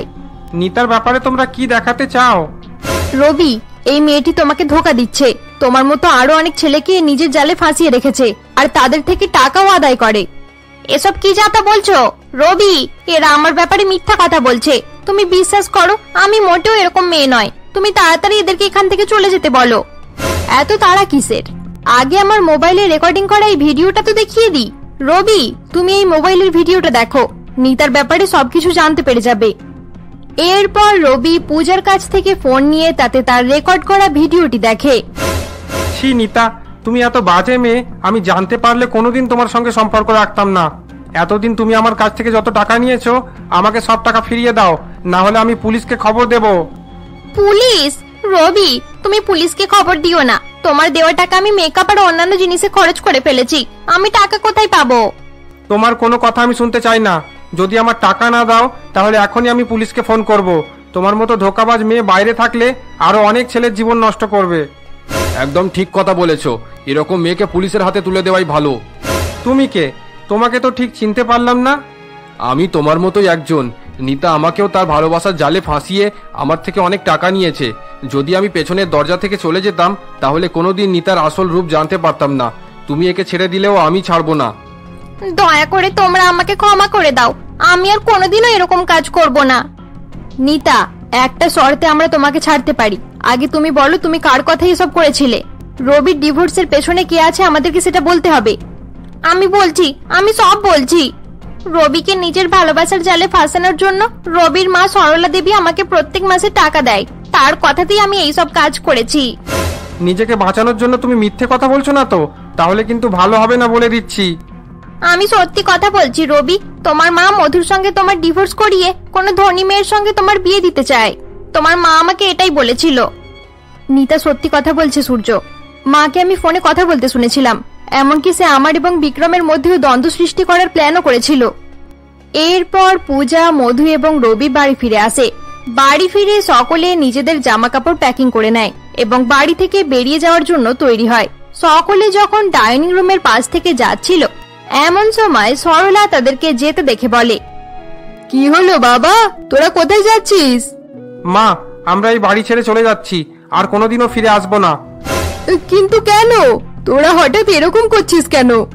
মা আমরা জানতে পেরে গেছি যে তুমি আমাদের বিয়ে টিকতে না দেওয়ার জন্য নিতাকে আমাদের পেছনে লাগিয়েছিলে। এখানে থাকলে আমরা কোনোদিন নিজের স্ত্রীদের সঙ্গে সুখে থাকতে পারব না তাই আমরা চলে যাচ্ছি। বাবা এই বুড়ো বয়সে আমি একা কীভাবে থাকব? তোরাই তো আমার ভরসা। এভাবে বাড়ি ছেড়ে যাস না। আমি তোদেরকে কথা দিচ্ছি। আমি আর কোনোদিনও এরকম করব না। মা আমরা তোমাকে খুব ভালোভাবে চিনি। তুমি আবার কোনো না কোনো ভাবে আমাদের মধ্যে ঝামেলা সৃষ্টি করার চেষ্টা করবে। নিজের মায়ের কথায় বিশ্বাস কর বাবা তোরা এই বাড়ি ছেড়ে যাস না। বৌমা তোমরা বোঝাও না এদেরকে। মা ঠিক বলছে রবি মাকে একটা সুযোগ দেওয়া দরকার। চলো আমরা জামা কাপড়গুলো রেখে দিই। এরপর সকলে নিজের ঘরে গিয়ে জামা কাপড় রেখে দেয়। বিক্রম আমার মনে হয় মা এবারে শুধরে গেছে। এবার আমরা সুখে শান্তিতে থাকতে পারব। হ্যাঁ আমারও মনে হচ্ছে মা নিজের ভুল বুঝতে পেরেছে। অপরদিকে সরলা ডাইনিং রুমে বসে বসে বলে এত সহজে আমি এদেরকে সুখে থাকতে দেব না। এই ভিকিরিদের জন্য আমার ছেলে আজ আমার মুখের উপর কথা বলেছে। যতদিন না এদেরকে উচিত শিক্ষা দিতে পারি আমি শান্তি পাবো না। এভাবে সেই দিনটা কেটে যায়। পরের দিন সকালে সরলা টুম্পা নামের এক মহিলাকে সঙ্গে নিয়ে বাড়িতে আসে। বৌমা এর নাম হলো টুম্পা। আমি ওকে আমাদের বাড়িতে কাজ করার জন্য নিয়ে এসেছি। আজ থেকে বাড়ির সমস্ত কাজ টুম্পাই করবে। ঠিক আছে মা আমি টুম্পাকে সমস্ত কাজ বুঝিয়ে দেব। পূজা এবং মধু বাড়ির সমস্ত কাজ বুঝিয়ে দেওয়ার জন্য টুম্পাকে নিয়ে রান্নাঘরে চলে যায়। যত খুশি হওয়ার হয়ে নাও। আমি কেবলমাত্র এক মাসের জন্যই চাকরটাকে রেখেছি। তারপর বাড়ির সমস্ত কাজ তোমাদেরকে দিয়েই করাবো। এটা তো আমার খেলার একটা অংশ। আস্তে আস্তে দেখো, তোমাদের কি অবস্থা করি আমি। এরপর থেকে টুম্পা বাড়ির সমস্ত কাজ করত। অপরদিকে মধু এবং পূজার বেশি কাজ না থাকায় তারা বেশিরভাগ সময় একসঙ্গে বসে গল্প করেই সময় কাটাতো। মধু এবং পূজাকে হাসি খুশিতে দেখে সরলা মনে মনে প্রচণ্ড রেগে যেত। একদিন রাতে সরলা তার বড় ছেলে বিক্রমের সঙ্গে ডাইনিং রুমে বসেছিল। কি হলো মা? তোমার এত মন খারাপ কেন? বাবা বিক্রম তোর বাবা মারা যাওয়ার পর থেকে আমি অনেক কষ্ট করে এই বাড়ির সমস্ত দায়িত্ব পালন করেছি। এত বছর কোনো দিন এরকম হয়নি। কিন্তু আজ হঠাৎ এটা হওয়ার পর আমার মন খুব খারাপ। কি হয়েছে মা? বলবে তো। থাক বাবা আমি যদি বলি তাহলে বৌমাগুলো ভাববে আমি আবার কোনো ষড়যন্ত্র করছি। তার চাইতে ভালো হবে আমাকে নিজের মতোই ছেড়ে দে। বৌমায়েদের মুখে প্রত্যেকদিন এরকম কথা শুনে আমার খুব কষ্ট হয়। আরে মা শুধু শুধু এত কথা না বাড়িয়ে কি হয়েছে বলো? বাবা আজ আমার ঘর থেকে দু হাজার টাকা চুরি হয়ে গেছে। এটা কীভাবে হলো? এর আগে তো কোনোদিন আমাদের বাড়িতে চুরি হয়নি? থাক বাবা বাদ দে। দু হাজার টাকার জন্য বাড়িতে অশান্তি করে লাভ নেই। যে নিয়েছে নিক কিছু বলার প্রয়োজন নেই। মা তাহলে কি নতুন কাজের মেয়েটি চুরি করা শুরু করে দিয়েছে? হ্যাঁ বাবা, হতেই পারে। তবে কি আর করা যাবে? কাজের লোক তো বাড়িতে রাখতেই হবে। না হলে বাড়ির কাজগুলো কে করবে? বাড়ির কাজ বৌমায়েদেরকে দিয়ে করালে তাদের উপর চাপ পড়ে যাবে। এভাবেই সরলা প্রত্যেক দিন তার দুই ছেলের সামনে নানা রকম নাটক করে তাদের কাছে ভালো হওয়ার চেষ্টা করতে থাকে। এরকমই একদিন। মধু মধু, আমার তিনখানা শার্ট খুঁজে পাওয়া যাচ্ছে না। কোথায় গেল? রবি ভালো করে খুঁজে দেখো না আলমারিতেই থাকবে। কাল আমি টুম্পাকে ধোয়ার জন্য দিয়েছিলাম। সে তো ধুয়ে আলমারিতেই রাখে। আমি আলমারি ভালো করে খুঁজে দেখে নিয়েছি কোথাও খুঁজে পাচ্ছি না। আচ্ছা ঠিক আছে আমাকে দেখতে দাও। শার্টগুলো আলমারিতে না থেকে যাবে কোথায়? মধু এবং রবি কথা বলছিল। এরই মধ্যে সরলা সেখানে আসে। বাবা আমার মনে হয় তোর শার্টগুলো টুম্পা নিয়ে নিয়েছে। ওই শার্টগুলো এবার ভুলে যা ওগুলো আর পাওয়া যাবে না। এসব তুমি কি বলছো মা? ওগুলো আমার নতুন শার্ট। এভাবে আমি কাউকে চুরি করতে দেব না। আজ টুম্পা বাড়ি আসুক। ওকে ভালো করে জব্দ করব। না বাবা এরকম করিস না। টুম্পার সঙ্গে এরকম করলে আমাদের বাড়ির কাজ কে করবে? তাছাড়া চাকরের সঙ্গে ঝগড়া করলে আশেপাশের লোকেরা নানা রকম কুকথা বলবে। মা এভাবে টুম্পা আমাদের বাড়িতে চুরি করবে আর আমরা চুপ করে সহ্য করব? আসলে বাবা ভিখিরি লোকেদের এত বড় বাড়িতে কাজ দিলে তারা চুরি তো করবেই। বাড়ির সমস্ত কাজ চাকরদের উপর ছেড়ে দিলে এরকমটাই হয়। সে বাড়ির সমস্ত কাজ করে। তাই মাঝে মাঝে সুযোগ পেলে ইচ্ছে মতো চুরিও করে নেয়। কিন্তু মা! আর কোনো কিন্তু নয়। টুম্পার জায়গায় যাকেই কাজে রাখি না কেন সবাই এটাই করবে। যাদের বাড়িতে সমস্ত কাজ চাকরের উপর ছেড়ে দেওয়া হয় তাদের চাকরদের সঙ্গে ঝগড়া না করাটাই ভালো। এভাবেই বেশ কিছুদিন কেটে যায় এবং সরলা প্রত্যেক দিনই তার ছেলেদের কাছে গিয়ে নানা রকম নাটক করতে থাকে। একদিন সন্ধ্যাবেলায় রবি এবং বিক্রম বাড়ি এসে দেখে টুম্পা একটি মাইক্রোওয়েভ নিয়ে ডাইনিং রুম থেকে দরজার দিকে যাচ্ছে। এ কি টুম্পা? তুমি আমাদের মাইক্রোওয়েভ নিয়ে কোথায় যাচ্ছ? এটা এটা তো অনেক দিন থেকে পড়েছিল তাই বাড়ি নিয়ে চলে যাচ্ছি। এবার এটাতে কেক রান্না করে বাচ্চাদেরকে খাওয়াবো। যেই বাড়িতে কাজ করো সেখানে চুরি করতে তোমার লজ্জা করে না? অনেক দিন থেকে তোমার এসব সহ্য করছি কিন্তু আর সহ্য করব না। বাবু এটা আমি চুরি করিনি। তোমাদের মা এটা আমাকে নিয়ে যেতে বলেছে। কি? মা এটা তোমাকে নিতে বলেছে? মা? ও মা! মা! বিক্রমের ডাকাডাকি করায় কিছু সময়ের মধ্যেই সরলা সেখানে আসে। মা তুমি টুম্পাকে মাইক্রোওয়েভ নিয়ে যেতে বলেছ? না বাবা আমি তো কিছু নিয়ে যেতে বলিনি। ওসবের বানানো মিথ্যে কথা। একটা বয়স্ক মহিলার ব্যাপারে এত মিথ্যে কথা বলতে তোমার লজ্জা করল না? মায়ের মনেই যখন এত পাপ তাহলে ছেলে কীভাবে ভালো হবে? নিজে আমাকে জিনিসটা দিয়ে এখন আমার নামেই দোষ চাপানো হচ্ছে। ওই জন্যই তোমার ছেলেরাও ওরকম হয়েছে। কাজ টাজ কিছু করে না সারাদিন শুধু ঘুরে বেড়ায়। দেখলি তো বাবা কেমন মুখের উপর উল্টো পাল্টা কথা বলছে। মুখ সামলে কথা বলো টুম্পা। এখনই বেরিয়ে যাও আমাদের বাড়ি থেকে। আরে তুমি কি আমাকে কাজ থেকে বার করবে? তোমাদের মতো ছোট লোকদের বাড়িতে আমিও কাজ করতে চাই না। চললাম তোমরা নিজের ব্যবস্থা করে নিও। টুম্পা এই বলে বাড়ি থেকে বেরিয়ে পড়ে। এইভাবে সরলা ষড়যন্ত্র করে টুম্পাকে কাজ থেকে বের করে দেয় এবং সে চলে যাওয়ায় সরলা খুব খুশি হয়ে যায়। এরপর বাড়িতে চাকর না থাকায় বাধ্য হয়ে পূজা এবং মধুকে এই বাড়ির সমস্ত কাজ করতে হয়। একদিন পূজা এবং মধু কিচেনে রান্না করছিল। এবার কি হবে দিদি? বাড়ির সমস্ত কাজ আমাদেরকেই করতে হচ্ছে। হ্যাঁ মধু, আমরা দুজনে এত কাজ কীভাবে সামলাবো? আমিও কিছু বুঝে উঠতে পারছি না। বিক্রম এবং রবিও মায়ের কথা মতোই চলছে। তারা বলে দিয়েছে, বাড়িতে আর কোনোদিন চাকর রাখা হবে না। দিদি, আমার মনে হচ্ছে এসব কিছুর পেছনে বুড়ির কোনো হাত থাকতে পারে। আমাদেরকে দিয়ে বাড়ির সমস্ত কাজ করানোর জন্যই সে এসব করেছে। ঠিক বলেছ, মধু। এটা হতেই পারে। আমাদেরকে একটু খোঁজ নিয়ে দেখতে হবে। সরলা বাড়ি থেকে চাকরকে তাড়িয়ে দিয়ে মনের সুখে দিন কাটাতে থাকে। দুই বৌমাকে বাড়ির সমস্ত কাজ করতে দেখে সরলা খুব খুশি হতো। অপরদিকে দুই ছেলে মায়ের সমস্ত কথায় একমত হয়ে যাওয়ায় পূজা এবং মধু সবকিছু ঠিক করার জন্য নিজেদের প্ল্যান করে। একদিন শাশুড়ি ঘুমিয়ে পড়ার পর পূজা এবং মধু আলমারির ডুপ্লিকেট চাবি নিয়ে তার ঘরে যায় এবং তার লকার থেকে সমস্ত টাকা এবং গহনা বের করে নেয়। দেখলে তো দিদি, ডুপ্লিকেট চাবিটা করেছিলাম বলে আজ কাজে লেগে গেল। ঠিক বলেছ মধু, সত্যি তোমার বেশ বুদ্ধি আছে মানতে হবে। দিদি, মা আমাদেরকে জব্দ করার জন্য টুম্পাকে কাজ থেকে বের করেছে। এবার আমরাও এই সুযোগটা ব্যবহার করে নিজেদের স্বামীদের আবার ভালো করব। এবার এই গহনা আর টাকাগুলো কোনো ভালো একটা জায়গায় রেখে দিতে হবে। তুমি চিন্তা করো না, মধু, এগুলো আমি লুকিয়ে রেখে দেব। দিদি, ভালোভাবে লুকিয়ে রাখবে, কেউ যেন দেখে না ফেলে। কেউ দেখে নিলে কিন্তু সব প্ল্যান ফেল হয়ে যাবে। তুমি চিন্তা করো না, মধু, এগুলোর ব্যাপারে কেউ জানতে পারবে না। এবার আমাদের শাশুড়ি মা জানতে পারবে যে আমাদের পেছনে লাগলে আমরাও অত সহজে ছেড়ে দিই না। পরের দিন সকালে সরলা ঘুম থেকে উঠে চা খেতে খেতে বলে সকালে গরম গরম চায়ের মজাটাই আলাদা। মুড একদম ফ্রেশ হয়ে গেল। এবার যাই লকার থেকে কিছু টাকা বের করে আনি। ছেলেদেরকে বাজারে যাওয়ার টাকাটা দিতে হবে। সরলা এই বলে তার লকারের কাছে যায় কিন্তু লকার খুলে সে অবাক হয়ে যায়। এ আমি কি দেখছি? আমার সব গহনা টাকা কোথায় গেল? হায় হায় এবার আমি কি করব? বিক্রম রবি আমাদের সর্বনাশ হয়ে গেছে। তাড়াতাড়ি এখানে আয়। মায়ের কথা শুনে দুই ছেলে তাড়াতাড়ি সেখানে আসে এবং তাদের সঙ্গে পূজা এবং মধু সেখানে আসে। কি হলো মা? তুমি এভাবে চিৎকার করছ কেন? বাবা বিক্রম দেখ আমাদের কত বড় সর্বনাশ হয়ে গেছে। কেউ আমাদের আলমারি থেকে সব গহনা আর টাকা পয়সা চুরি করে নিয়েছে। আমরা তো শেষ হয়ে গেলাম। কিন্তু মা এটা কীভাবে সম্ভব? লকারের চাবি তো সব সময় তোমার কাছে থাকে। বাবা বিক্রম লকারের চাবি এখনও আমার কাছেই আছে। জানি না কীভাবে চুরি হয়ে গেল। এবার আমরা কি করব? আমাদের সব টাকা পয়সা চুরি হয়ে গেল। টুম্পা হ্যাঁ হ্যাঁ টুম্পা এসব করেছে। সে আমাদের ঘর থেকে এতদিন অনেক কিছু চুরি করেছে।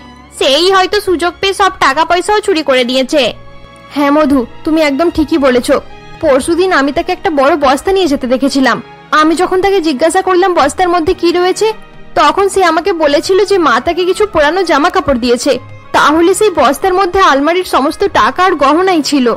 কিন্তু পূজা এটা হতে পারে না। আলমারির চাবি সবসময় মায়ের কাছে থাকে। বিক্রম তুমি এইটুকু জিনিস বুঝতে পারছ না। টুম্পা আমাদের বাড়ি থেকে অত কিছু চুরি করেছে তাই আলমারি থেকে টাকা চুরি করা তার কাছে তো কোনো ব্যাপারই নয়। কোনো না কোনো ভাবে সে চাবি জোগাড় করে লকারের সব জিনিসপত্র নিয়ে নিয়েছে। আমি ঠিক বলছি তো মধু?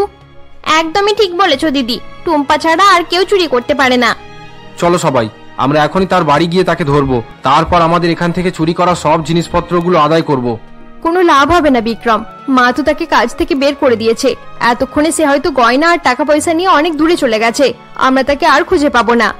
হায় হায় এ আমার কি সর্বনাশ হয়ে গেল। আমার কাছে তার আধার কার্ডও নেই। যে পুলিশের কাছে কমপ্লেন করব। আমার সব শেষ হয়ে গেল। মা তুমি একটু শান্ত হও। টুম্পা যেখানেই থাকুক না কেন আমি আর রবি তাকে খুঁজে বের করব এবং নিজেদের টাকা আদায় করব। এরপর বিক্রম এবং রবি গাড়ি নিয়ে টুম্পার খোঁজ করার জন্য বেরিয়ে পড়ে। টুম্পা যেখানে থাকতো তারা সেখানে গিয়ে খোঁজ করে জানতে পারে সে তার ছেলেদেরকে নিয়ে সকালে গ্রামের বাড়ি চলে গেছে।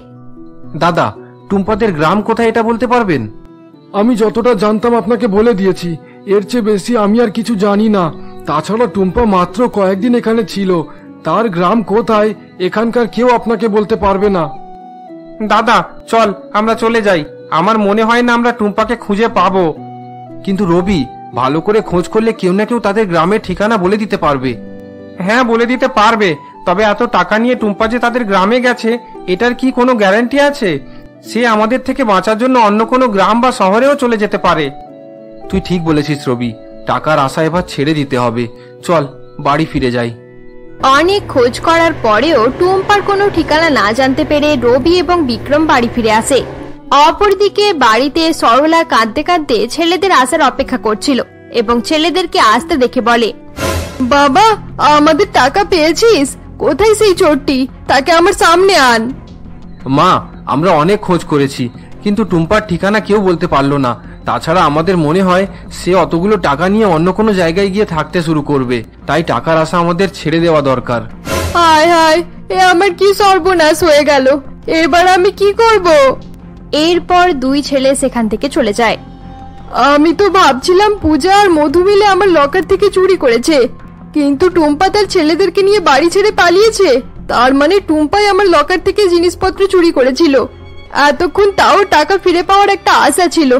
এখন মনে হচ্ছে আমার টাকা গহনা সব চিরদিনের জন্য চলে গেছে। সরলা বিশ্বাস করে নেয় যে তার টাকা পয়সা টুম্পা চুরি করেছে এবং মনে মনে খুব কষ্ট পায়। এরপর সরলা তার ঘরে গিয়ে দুঃখী মনে বসে পড়ে। ওই টাকার জন্য আমি সব সময় সকলকে অপমান করেছি। নিজের বৌমাদের সঙ্গেও ভালো ব্যবহার রাখিনি। সব সময় বৌমাদের বাপের বাড়ি থেকে টাকা আনার জন্য বলেছি। ওদেরকে ভিখারি বলে ডেকেছি। আজ আমি নিজেই ভিখারি হয়ে গেলাম। আমার দুই ছেলেও এতদিন ওই টাকার জন্যই সুখে শান্তিতে ছিল। কেউ কোনো কাজ করতো না। কিন্তু এবার কি হবে? এবার আমাদের সংসার কীভাবে চলবে? সরলা বসে বসে এইসব কথা ভাবতে থাকে। এভাবেই দুই মাস কেটে যায় এবং টুম্পাকে ও টাকা পয়সা কোনো কিছুই খুঁজে পাওয়া যায় না। একদিন সরলা ডাইনিং রুমে বসে তার বড় বউ পূজাকে ডাক দেয়, পূজা পূজা, আমার খাবার নিয়ে এসো। এই তো মা, আপনার খাবার নিয়ে এসে গেছি, এই নিন। এ কি বৌমা, আজ মাত্র একটা তরকারি বানিয়েছো, আমি একটা তরকারি দিয়ে কীভাবে খাব? আমি জানি মা, আপনি চার পাঁচ রকমের তরকারি ছাড়া খেতেই পারেন না, কিন্তু কি আর করা যাবে বলুন? বাড়িতে একটাই সবজি ছিল, যেটা রান্না করে দিয়েছি, আর তাছাড়া সমস্ত রেশনও তো শেষ হয়ে এসেছে। আচ্ছা ঠিক আছে তুমি যাও। এরপর পূজা সেখান থেকে রান্নাঘরে চলে যায়। আরে মধু আজ তো অবাক কাণ্ড হয়ে গেল। মাকে একটা মাত্র তরকারি দিয়েছি কিন্তু মা আমার মুখের উপর কিছু না বলে সেটা থেকেই খেয়ে নিল। বিয়ের পর থেকে মায়ের এরকম রূপ আমি কোনোদিনও দেখিনি। দিদি যেমন চলছে চলতে দাও। এদের অহংকার ভাঙার এটাই একটা উপায়। এরপর থেকে সরলা তার দুই বৌমাকে কখনোই অপমান করত না এবং তাদের সামনে টাকার অহংকারও দেখাতো না। অপরদিকে বিক্রম এবং রবির কাছে টাকা পয়সা না থাকায় তারাও বাড়ির বাইরে যাওয়া বন্ধ করে দেয় এবং সারাদিন টিভি দেখে ও মোবাইল ব্যবহার করে সময় কাটাতো। বাড়ির সকলে খাবার নিয়েও কোনো অজুহাত করতো না। এরকমই এক সকালে। পূজা, মধু, তোমরা এত সকাল সকাল তৈরি হয়ে কোথায় যাচ্ছ? মা, আমরা চাকরি খুঁজতে যাচ্ছি। কি বললে? চাকরি খুঁজতে যাচ্ছ? কিন্তু কেন? তা না হলে কি করব মা? আপনার টাকা পয়সা তো সব চুরি হয়ে গেল। যা সামান্য টাকা আছে তা থেকে বাড়ির সমস্ত খরচ চালানো যাচ্ছে না। এভাবে চলতে থাকলে কয়েকদিন পর আমাদেরকে না খেয়ে থাকতে হবে। সেটা বুঝতে পারছি কিন্তু তোমরা বাড়ির বৌমা হয়ে কাজ করতে যাবে। আপনি নিজের ছেলেদেরকে তো ভালোভাবে শিক্ষা দিতে পারেননি। তাদের অনেক বোঝানোর চেষ্টা করেছি। কিন্তু কাজ করাকে তারা নিজের অপমান বলে মনে করছে। তাই সংসার চালানোর জন্য আমাদেরকেই কোনো কাজ করতে হবে। মধু একদম ঠিক কথাই বলেছে মা। আজ থেকে আমরা চাকরি করে টাকা উপার্জন করব। আর বাড়ির কাজগুলো আপনিও আপনার ছেলেরা করবেন। কিন্তু বৌমা, বাড়ির এত কাজ, আমি কীভাবে? কিছু করার নেই মা। এখন আর আপনার কাছে টাকাও নেই, যে আপনি কোনো চাকর রাখবেন। রান্না বাড়া জামা কাপড় ধোয়া এবং ঘর পরিষ্কারের কাজ আজ থেকে আপনাদেরকেই করতে হবে। আচ্ছা ঠিক আছে, তাই করব। এরপর পূজা এবং মধু বাড়ি থেকে বেরিয়ে পড়ে। অপরদিকে বাড়ির সমস্ত কাজ করার কথা শুনে সরলা খুব চিন্তায় পড়ে যায়। কিন্তু সংসার চালানোর জন্য দুই বৌমা কাজে যাওয়ায় সে তাদেরকে আর কিছু বলে না। সরলা বাড়ির কাজ করায় অভ্যস্ত না হওয়ায় বাড়ির কাজ করতে তার খুব কষ্ট হয়। একদিন সরলা যখন বাড়ি পরিষ্কার করছিল, এমন সময় তার কোমরে যন্ত্রণা শুরু হয়ে যায়। ওরে বাবারে এইটুকু ঘর পরিষ্কার করতেই কোমরে যন্ত্রণা শুরু হয়ে গেল। এবার মনে হয় এই যন্ত্রণাতেই মরে যাব। কোনোদিন ভাবিনি এই বয়সে আমাকে এত কাজ করতে হবে। এইসব আমারই ভুল। আমি নিজেই টুম্পাকে কাজে নিয়ে এসেছিলাম। আর তাকে মিথ্যে চুরির দায়ে অপমানও করেছিলাম। তাই সে সত্যি সত্যি আমার লকারটাকে খালি করে দিল। এতদিন টাকা নিয়ে আমি খুব অহংকার করেছি। তাই আজ আমার সব অহংকার শেষ হয়ে গেল। সরলা এসব কথা ভাবতে ভাবতে দুঃখ করতে থাকে। এমন সময় তার দুই ছেলে সেখানে আসে। কি হলো মা? তোমার চেঁচানোর আওয়াজ শুনলাম। আর বলিস না বাবা এইটুকু বাড়ি পরিষ্কার করতে গিয়েই কোমরে যন্ত্রণা শুরু হয়ে গেল। কিন্তু মা বাড়ির সব কাজ তুমি করছ কেন? তোমার দুটো বৌমা কোথায়? বৌমায়েরা চাকরির খোঁজ করতে গেছে। কি বললে? তারা চাকরির খোঁজ করতে গেছে?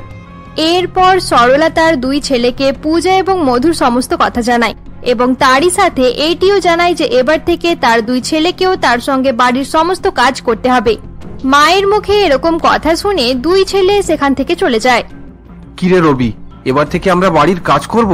আমরা বাড়ির কাজ করলে খুব খারাপ লাগবে। আরে দাদা পূজা এবং মধু চাকরি করে টাকা আনবে। আমরা যদি বাড়ির কাজ না করে তাদের করতে বলি তাহলে আমাদেরকে চাকরির খোঁজ করতে যেতে হবে। আমার মনে হয় চাকরি করার চেয়ে বাড়ির কাজ করা বেশি ভালো। ঠিকই বলেছিস আমরা কোনোদিন চাকরি করিনি তার চেয়ে ভালো তারাই করুক। হ্যাঁ দাদা তাছাড়া বাড়ির কাজের কি আছে? একটু শিখে নিলেই হবে। এরপর থেকে বিক্রম এবং রবি তাদের মায়ের সঙ্গে বাড়ির সমস্ত কাজ করতে থাকে। এইভাবেই বেশ কয়েকদিন কেটে যায়। একদিন পূজা এবং মধু একটি পার্কে বসে নিজেদের মধ্যে কথা বলে। মধু, আমরা প্রত্যেকদিন কাজ করার নাম করেই পার্কে এসে বসে থাকি এবং বাইরে লাঞ্চ করে সন্ধ্যাবেলায় বাড়ি ফিরে যাই। এইভাবে আর কতদিন করতে হবে? দিদি, আমাদেরকে সারা মাস এভাবেই চালাতে হবে। না হলে আমরা আমাদের স্বামীদেরকে আর শাশুড়িকে জব্দ করতে পারব না। কিন্তু এসব আর ভালো লাগছে না। তাড়াতাড়ি এগুলো শেষ হয়ে গেলেই ভালো। তুমি চিন্তা করো না দিদি, সব কিছু ঠিক হয়ে যাবে। আচ্ছা দিদি, তোমার সঙ্গে টুম্পার কথা হয়েছিল? না তো, তার সঙ্গে কোনো কথা হয়নি। দাঁড়াও, আমি এখনই তাকে ফোন করছি। এই বলে পূজা টুম্পাকে ফোন করে। হ্যাঁ দিদি, বলো, কেমন আছো? হ্যাঁ টুম্পা, আমরা ভালো আছি। তুমি কেমন আছো? আর তোমার ছেলে মেয়ে কেমন আছে? সবাই খুব ভালো আছে, দিদি। তুমি যে টাকা দিয়েছিলে, সেই টাকাতে আমি গ্রামে চাষ করতে শুরু করেছি। তাই আমাকে আর লোকের বাড়িতে কাজ করতে যেতে হয় না। কি যেন বলে না? হ্যাঁ থ্যাংক ইউ দিদি। আরে টুম্পা, তোমাকে থ্যাংক ইউ বলতে হবে না। তুমি নিজের ছেলে মেয়ের সঙ্গে ভালোভাবে থাকো। আমরা শুধু এটাই চাই। আর একটা কথা, টাকা পয়সার প্রয়োজন হলে আমাদেরকে ফোন করতে লজ্জা করবে না। ঠিক আছে, দিদি। দিদি তোমাদের অহংকারী শাশুড়ি কি ঠিক হয়েছে? নাকি এখনও আগের মতোই রয়েছে? তুমি চিন্তা করো না, আমাদের শাশুড়ি এবং স্বামীরা ঠিক হবেই। এই বলে পূজা ফোন রেখে দেয়। যাক বাবা, টুম্পা ভালো আছে শুনে খুব খুশি হলাম। হ্যাঁ মধু। কিন্তু এবার আমরা কি করব? এই মাসটা কেটে গেলেই আমরা স্যালারির টাকা বলে কুড়ি হাজার টাকা শাশুড়ি মায়ের হাতে তুলে দেব। তারপর আমি যেমনটা বলব, তুমি তেমনটাই করবে। এরপর এক মাস হয়ে গেলে পূজা এবং মধু তাদের শাশুড়ির কাছে গিয়ে তাকে কুড়ি হাজার টাকা দিয়ে দেয়। মা, এই নিন কুড়ি হাজার টাকা। চাকরি করে আমরা এত টাকাই রোজগার করতে পেরেছি। আমরা অনেক ক্লান্ত হয়ে গেছি। এবার আমরা নিজেদের রুমে যাচ্ছি। সত্যি বৌমা, তোমরা যা করে দেখিয়েছো, এটা আমার ছেলেরাও করতে পারতো না। শাশুড়ির মুখে এরকম কথা শুনে পূজা এবং মধু খুশি হয়ে যায় এবং সেখান থেকে নিজেদের রুমে চলে যায়। প্রত্যেক দিনের মতো একদিন পূজা এবং মধু কাজে যাওয়ার নাম করে পার্কে বসেছিল। অপরদিকে কাবেরী নামের এক মহিলা সরলার কাছে আসে। আরে সরলা, এক ঘণ্টা থেকে বসে আছি। শুধু এক কাপ চাই দিয়েছিস। আর কিছুর ব্যবস্থা করতে পারলি না? নিজের মুখে বলতে লজ্জা করছে, কিন্তু তুই তো আমার কাছের মানুষ, তাই বললাম আর কি।